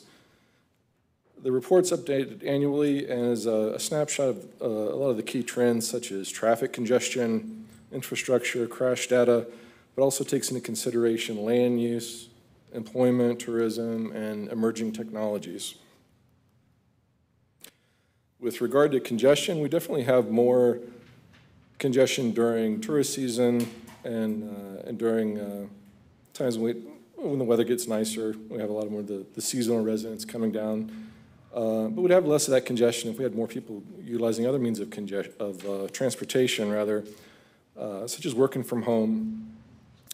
And uh, with 54% of the residents living less than 10 miles from their workplace, that being up 1% from last year, uh, bicycling or even walking to work is an option for more than half of our residents. And Pinellas County has continued to do a great job of providing infrastructure with 84%, uh, that being up from 80% last year on the uh, Pinellas Trail route loop, and also having numerous other trails, 78 miles of other trails uh, throughout the county. So today, more than 35% of the jobs uh, are within a half a mile of the trail, making it easier and safer to bike or walk as an alternative to using a single occupancy vehicle. This is a positive trend that indicates more households have access to multimodal options, including biking and walking. More residents than ever are working from home. The most recent 2021 census data estimate, estimate is that uh, the percentage of Pinellas County residents working from home has now increased to an, an unprecedented 21 percent. Prior to the pandemic, that was only 7%, and that's consistent with the nationwide trends. It's only slightly higher than the, the nation, nation's uh, trends as a whole. Working from home trends are also, at least in part, contributing to another trend, which has been a decrease in traffic counts for monitored roadways. Even if you completely disregard 2020 as an outlier due to the pandemic, the overall trend for the average annual daily counts has been a steady decline between 27 and 2021. And an emerging trend since the pandemic started has been that with fewer cars on the roads, although it initially led to fewer crashes and fatalities in 2020, we saw increases in the number of vulnerable uh, road users uh, fatalities in 2021, and speed appears to be playing a role in that. During the pandemic, and even now with more people working at home, the, the people have become more accustomed to driving faster on slightly less congested roads. Data from law enforcement indicates that fewer cars on the roads resulted in higher speeds and significant increases in law enforcement issuing speeding citations. So as you can see on the slide, we know that greater speed results in higher likelihood of crashes resulting in fatalities. And as congestion increased, people continue to drive fast on the more congested roads in 2021. Uh, although on average, the total number of crashes have decreased 2.5% and injuries are down 8%. The number of fatalities have increased over the five-year average between 2017 and 2021. Most traffic fatalities involve our vulnerable road users. That include, includes our motorcyclists, uh, bicyclists, and pedestrians. And crash fatalities have increased uh, significantly for, uh, for bicyclists. The number of crash fatalities for bicyclists is up 53% uh, because the average has increased uh, from six to nine per year, and the lower number of fatalities affects that percentage more. Usual suspects are involved with regard to fatal crashes with impairment, aggressive driving, and, and agent aging drivers, uh, making up one out of every three fatal crashes. And those uh, fatal crashes are up across the board on average. It's not all bad news, however, with regard to the, the, the crashes. More recently, take into consideration the, the fact that this report's really only covering 2017 to 2021, a five-year average.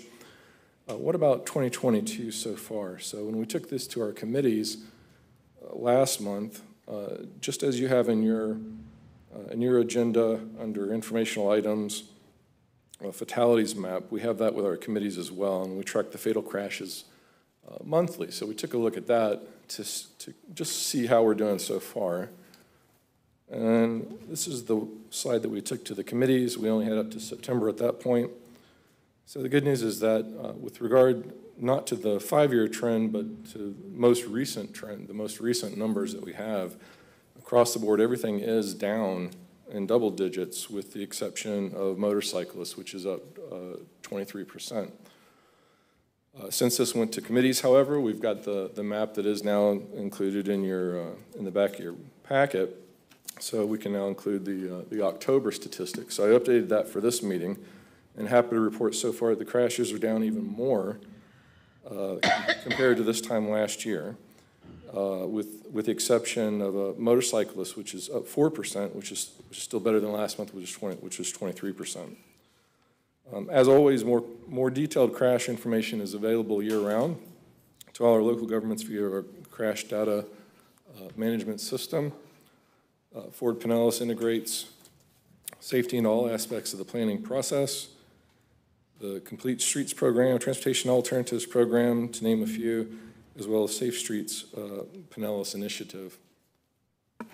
Although Forward Pinellas is more of a monitoring agency than implementing, uh, we do work with and depend heavily on our numerous partner agencies to integrate safety into projects, basically at every level, from, from the project development and, and environment, design, construction, and even after construction. As you know, this board adopted the Safe Streets Pinellas Action Plan in March of 2021.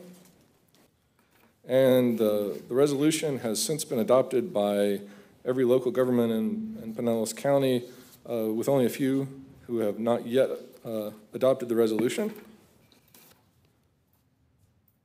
And I'm proud to say that Forward Pinellas staff has worked really hard together to, uh, to develop this, this update and, and document and uh, update this document internally uh, as we found time to do so. And I'd like to especially thank uh, Sandra Noble and Linda Fisher of our staff, who were both recognized earlier at the beginning of the meeting for their help in, uh, uh, among others, in, in uh, updating this report. And so with that, I can take any questions. Any questions at this time? Thank you very much, Rob. Yes, yes.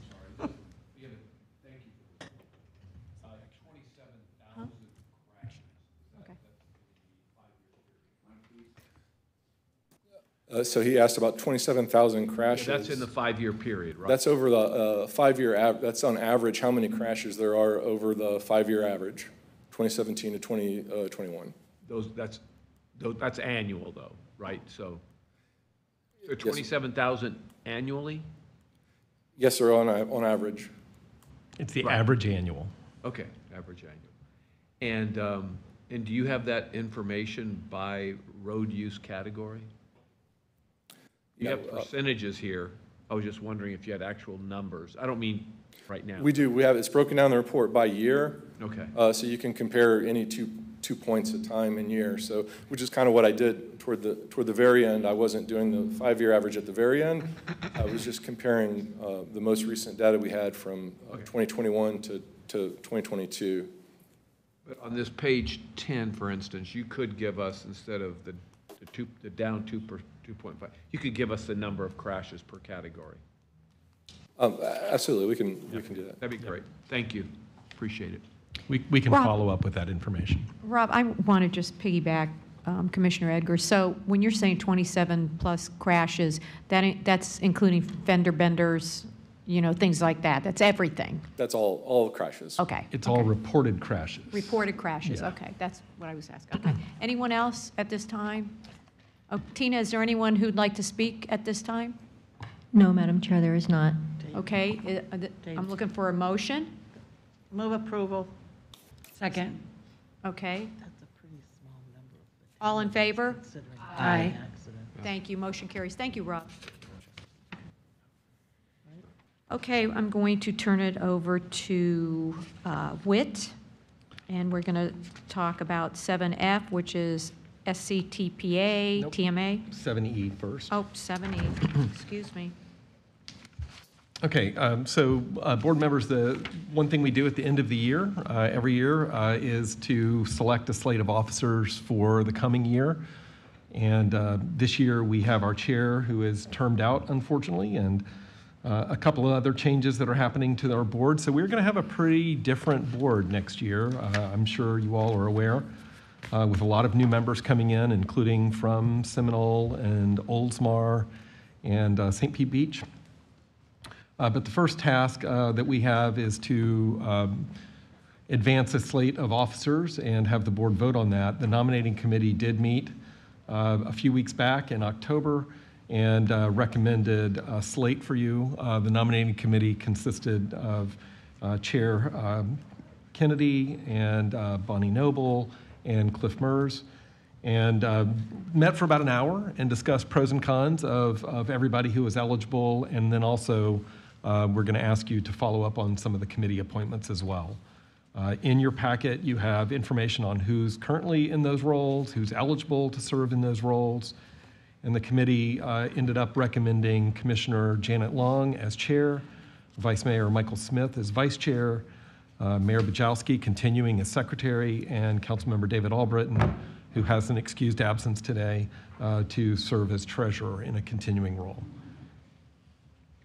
And I'm happy to answer any questions or have any of the nominating committee members uh, answer any questions if you'd like. Does anyone on the nominating committee want to say anything? We- We're all good? Any they- questions from the board? They discussed our shortcomings, so I'd like to hear that. In great detail. You should have heard what I said. I don't want to hear mine, thank you. All pros, Dave, all pros. Uh, Well, with that, then I guess I'm looking for a motion. Move approval. Is there a second? All in favor? Aye. Okay. Madam Thank Chair, you. for the Yes. record, there were no citizens looking to be heard on that Thank item. you. And also, I got Councilmember Gabbard as the first and Councilmember Noble as the second. Is that correct? Yes. Thank you.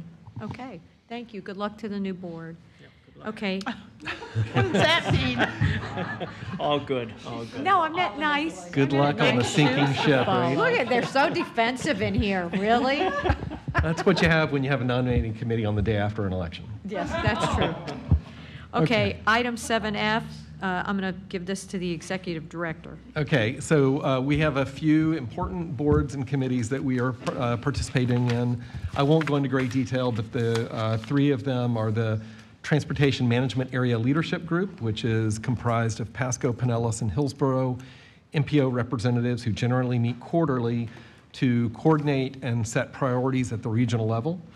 Uh, The Suncoast Transportation Planning Alliance, which meets a couple of times a year. Uh, We we may step that up uh, in the coming year or two, but the Suncoast is a broader region that includes Citrus, Hernando, Polk, and Sarasota Manatee, as well as the core MPOs. And they also carry out um, sort of a super regional level of of coordination and priority setting. The third group is the Metropolitan Planning Organization Advisory Council that meets four times a year, typically in Orlando, although we have met around the state. And that involves all 27 um, MPOs in the state of Florida, both at a staff director's level and uh, at a uh, governing board level. And there are a couple of advisory committees to that group as well.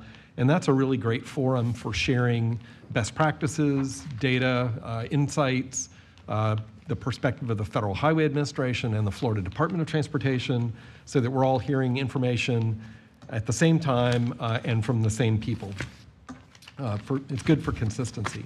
So we are looking to um, advance uh, several appointments to that, and I want to spend just a minute uh, talking about the importance in the coming year, and we'll have this discussion in greater depth um, soon after um, December. Uh, But we are going to be discussing the possibility of developing a regional metropolitan planning organization for the Tampa Bay area. This is a topic that has come back um, periodically every few years since about 1990.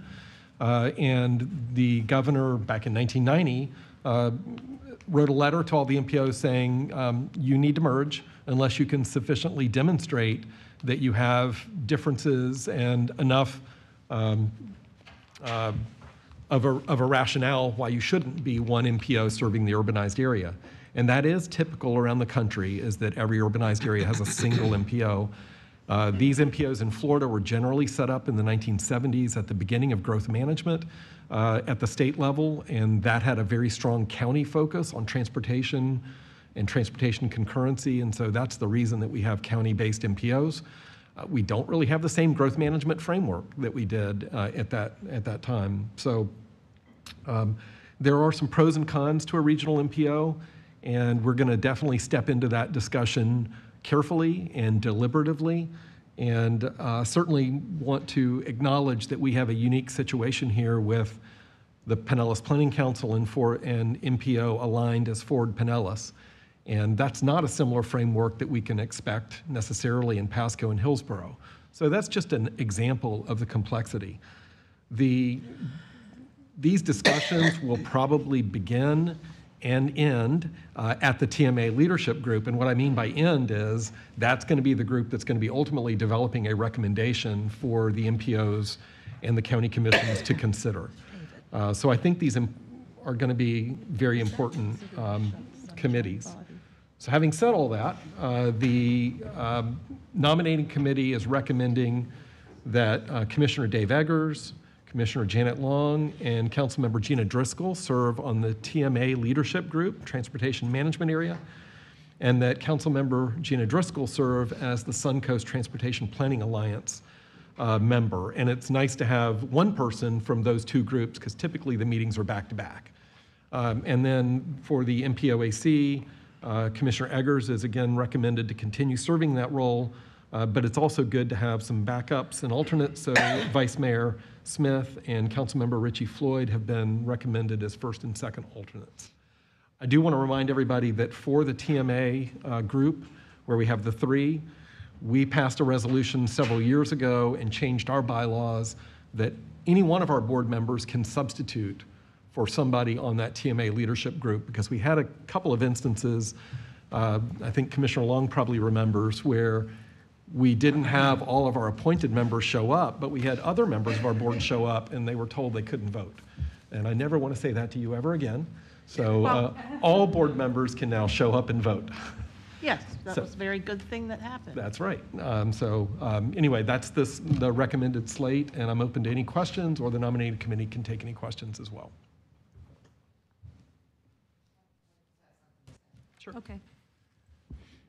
Sure. Okay. Jane, I've served on this, this thing for the last year. It's been great. They are starting a new conversation in December, and I'm thinking that if you get not appointed, you might want to go do that instead of having me be there, because they're starting a whole new, brand-new conversation on these MPO things that you might want to consider. Thank you. Mm-hmm. Appreciate that. Yeah. And there'll be some new members from Hillsborough County now, we know that. too. Right, right. So it'd be better for everybody to have the conversation at the beginning rather than come into the middle of it. Anyone else? Okay. We need a motion. Yes. Do you need to ask if there's anyone in the audience, Tina, that would like to No, speak? There's no one in the audience that wishes to speak on this item. It's a hot topic. Okay. Uh, Looking for a motion? Move approval. For a Second. second? Okay, all in favor? Aye.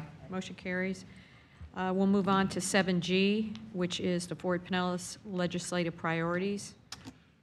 Uh, Thank you very much. I'll take this one as well. Uh, Linda and I uh, handled the legislative committee that met uh, earlier today. We had three members uh, because Councilmember Albritton could not be there. And just a reminder that when we have new members in January, we will invite other uh, members of the board to join the legislative committee. Uh, The committee met uh, to discuss a number of items, but most significantly, uh, you have in front of you as a handout an updated version of the legislative priorities. The committee reviewed these. I think they liked them in general. uh, but the committee was not yet ready to fully embrace uh, Mayor um, Will, uh, uh, Will's proposal for a preemption bill that uh, he shopped around last month. Uh, That bill is, is in your board packet uh, or in the legislative committee packet, but it, um, Redington Beach.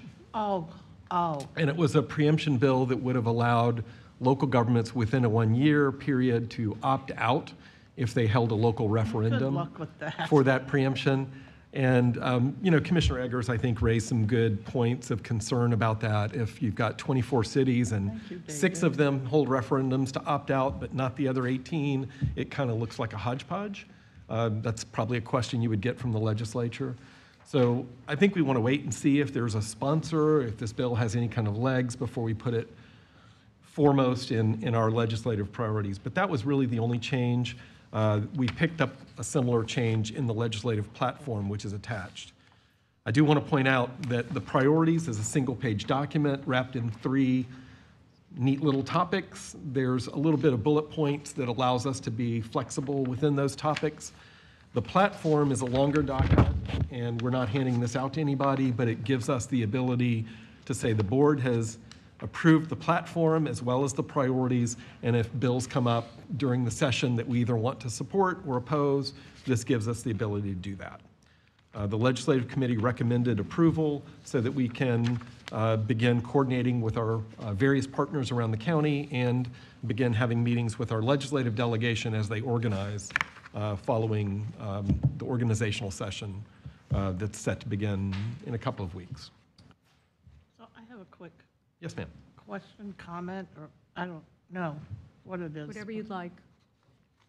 Well, thank you, You're on, Meredith. you're on. That's a pretty dangerous thing Yeah, it to is. say. It I'm really going to be is. quick, though. I, you know, it occurs to me that when life hands you lemons is an opportunity to make some lemonade.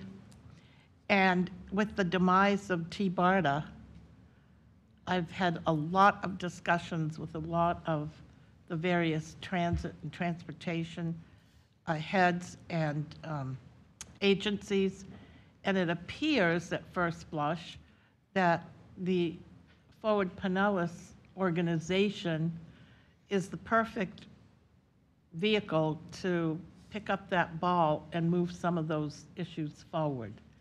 And I know you said we were going to have a conversation about it, Whit, but don't you think it would be wise if we looked at, I see Ming Gao there, he's wondering what I'm, he, you know, I've heard several times over the last month or two about the extraordinary powers that T-BARTA has. And as long as I've been on T-BARTA, there's never been an effort to access those powers, talk about those powers, or otherwise figure out if some of them could potentially be a vehicle or an avenue for us to make a difference in this 50-year-plus um, effort to have a public transportation system. And so I just crossed my arms because I was mimicking Ming Gao over there. But I, I do think it's a worthy conversation to have so that we're all equally informed as we move forward to figure out what the next chapter is for the Tampa Bay region. Thank you for Absolutely. allowing me to say that. No, it's fine.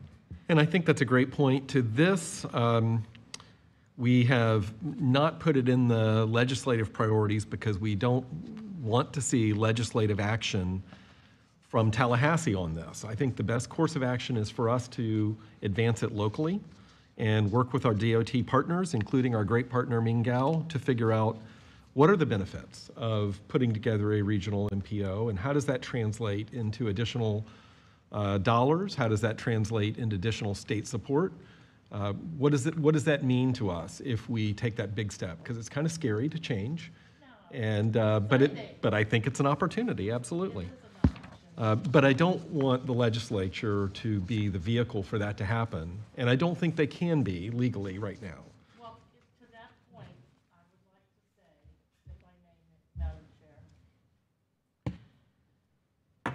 It would be, again, somewhat wise, in my opinion, for us to have a conversation before they all start trekking on up to Tallahassee because I have been told by people a lot smarter and more connected than I am that there will be legislation coming forth that's going to propel this conversation I'm talking about with some financial incentives wrapped around it.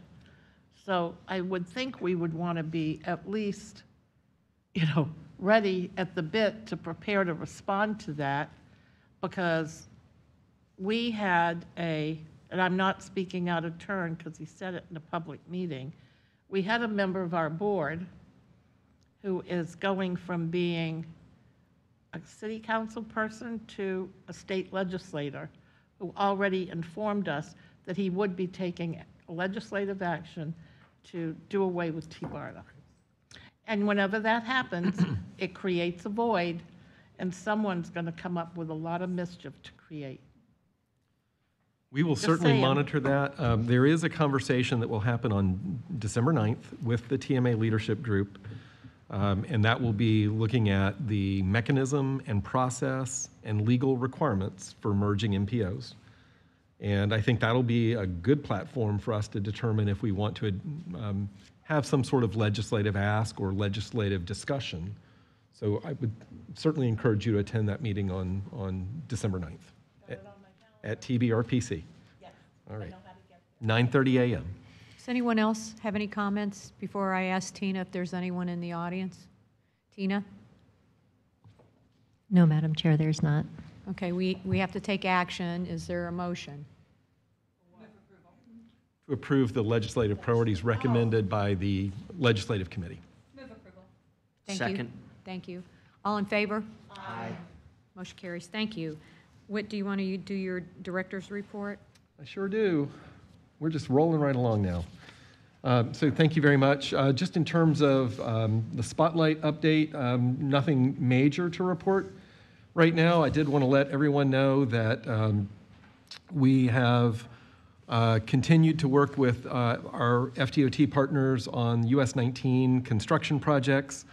And um, uh, I just provided Commissioner Eggers with a very detailed summary for a, a talk you're giving uh, next week, I believe, on what's happening with US 19. And it just struck me that there is really a lot going on in the corridor, both from a design standpoint and from a construction standpoint. Uh, Some of you may have seen uh, and gotten emails regarding the proposed pedestrian underpass, or not proposed, it's designed and about to go under construction at uh, just south of Republic Drive. We had a discussion about that at the Legislative Committee. I won't go into detail here now, but I did want to let you know that there's been a lot of um, misleading information and uh, inaccurate information uh, that's been spread about that underpass. It is essentially adding a little more than $1 million to the total cost of a 242 million capacity project. And it is one underpass, there's also one overpass, and there's also one shared access uh, with cars, pedestrians, and bicyclists at Boy Scout uh, Road where that's happening. Uh, Overall, it is adding an interchange at Curlew Road. Interchanges are incredibly expensive, and we're excited to see that project move forward because it's been long overdue and it's been deferred by two years already. And deferring it any longer would be um, uh, contrary to the best interests of the citizens of Pinellas County and probably Pasco County as well. Um, So I wanted to update you about that. I also wanted to let you know that we had a productive discussion with the Florida Department of Transportation a couple of weeks ago about the future interchanges on US 19 north of um, Curlew and Tampa Road, which we all agree should be interchanges. Um, But at Alderman, Klosterman, and Tarpon Avenue, and even Alt 19, there's been more debate about the feasibility of interchanges and the cost of those interchanges. The department has um, done an evaluation that we've requested. It was a good evaluation. We're thankful for that. We still have some questions. And so as we work to resolve those questions, we've got at least shared data and shared information we can work together to resolve. And I think we'll get there. Essentially, the department is telling us that Alderman and Klosterman probably need to be interchanges as well, but that there is a possibility for Tarpon Avenue and Alt 19 to be at grade, um, maybe innovative intersections that don't need to have that expense and um, disruption of a full interchange. Um, So we will continue to flesh out those areas of, of, of questions. And then probably in the spring, we will have a workshop with this board focused on that issue because it's a big, meaty topic. And then we will go out to the business community and have a discussion with them. But uh, I think that's coming soon, and I think it's coming along, and we're satisfied now with the progress that's being made about that. Um, the other thing I wanted to mention is the sidewalk improvements for Gulf Boulevard. I gave you a heads up that it was a big, scary number. Uh, we did sit down with the town of Indian Shores a couple of weeks ago. Uh, they are still committed to the plan that they picked, uh, but they are going to work with their residents and with the department to um, eliminate the right-of-way cost, which is almost 30 million, uh, by working with the property owners to get uh, voluntary easements. The town thinks that's possible, and the department has committed to using an existing consultant contract to help the town better identify where those right-of-way needs will be most important to get. Um, I'm not optimistic, but um, I'm certainly willing to let the process go forward, and we'll see where we can uh, go with that. We did agree in that group that there would be a fallback plan that would eliminate the right-of-way requirement by reducing the width of the sidewalk. Um, so you would have a five-foot sidewalk with a shared lane for bicycles and cars. Um, speed's 30, 30 miles an hour out there, so we would need to maintain that lower speed. It's not an ideal solution, but you only have 40 feet of right-of-way, so it's a really tough segment. But that would make the cost dramatically lower. So we have some options going forward. We're continuing to work with the town. There is a meeting tomorrow with the town council. It's a workshop that I'm going to attend along with FDOT staff. It may be postponed or, or canceled because of the uh, storm, uh, but progress is moving along. Last thing I wanted to mention is the Alt 19 Investment Corridor Plan. If you haven't paid attention to the community workshops and opportunity to comment, uh, I would encourage you to do so. We, we had light turnout at the physical meetings, but we've had online opportunities for people to comment, and that's been a little more robust. There have been surveys that are out, and we do have a plan to go out and individually meet with the uh, neighborhood groups and community association groups along the corridor. The ones in St. Petersburg are particularly active around the Tyrone area, and so I think we'll have robust discussions about redevelopment and transportation in that corridor. Uh, so far, people have been very happy with the work the consultant is doing, and I think we're making good progress. Um, we will share the results of the community outreach for phase one with you um, when we're ready, probably sometime uh, early in 2023. Just wanted to give you an update on that. I think our staff's doing a great job, and it's always hard to get people to show up at a meeting, so we need to go out to where those meetings are, where people are already gathering, and that's the next step that we're going to take. And all that's uh, online on the website for Advantage Alt 19. Are there any questions about any of those items for me?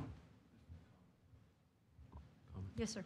Yeah, just a comment. You mentioned interchanges and a, as a, as obviously a way to keep traffic moving and get traffic into, uh, onto the roads. And I just, I, I don't think that can be overestimated uh, or overstated enough. I just think that's a really important piece of uh, how we improve our road system without necessarily adding lanes. Um, I know I've been traveling up East Lake Road quite a bit, and um, you know there's a discussion about uh, lane increases there. But when you go up there, whether it's interchange uh, uh, improvements that are needed, or technology, or using the technology that we have, I, I, I've just never seen. And I keep challenging staff about the timing of, of lights and during the day it's different you know it's like it, it can't you can't use the same timing throughout the day it just it just doesn't make any sense and you have road you know the crossroads and you know there's still there's nobody going any longer and meanwhile you look in your rearview mirror and it's way back down east lake road and it's just we got to think of better ways and i know i know i know uh, our county staff is really working on that technology piece of it but also these interchanges are just so critically important. So I'm looking forward to seeing what we FDOT folks creatively come up with. So uh, it'll be good stuff for North North County. So You have uh, reminded me that in our adopted long-range plan, we set aside a certain amount of funding over time to invest in technology and look at technology applications. You're absolutely right. Um, We have not gotten uh, any applications for our funding for technology that I'm aware of, but we are doing some small pilot projects on safety using technology, and I think those have been pretty effective. So we will continue to do that. Uh, I think the Alt 19 corridor, US 19, East Lake are all really good candidates uh, for different types of technology that uses, I guess, what we have out there and makes uh, the most efficient use of the investments that we're making or have already made. So uh, stay tuned for that. And I, I, I think we ought to continue that discussion for sure. I think that's it. Uh, Just a reminder for the meeting, December 14th, is that correct? I don't want to get the wrong date. I've got one other thing I got to do before you do that. Okay. I forgot.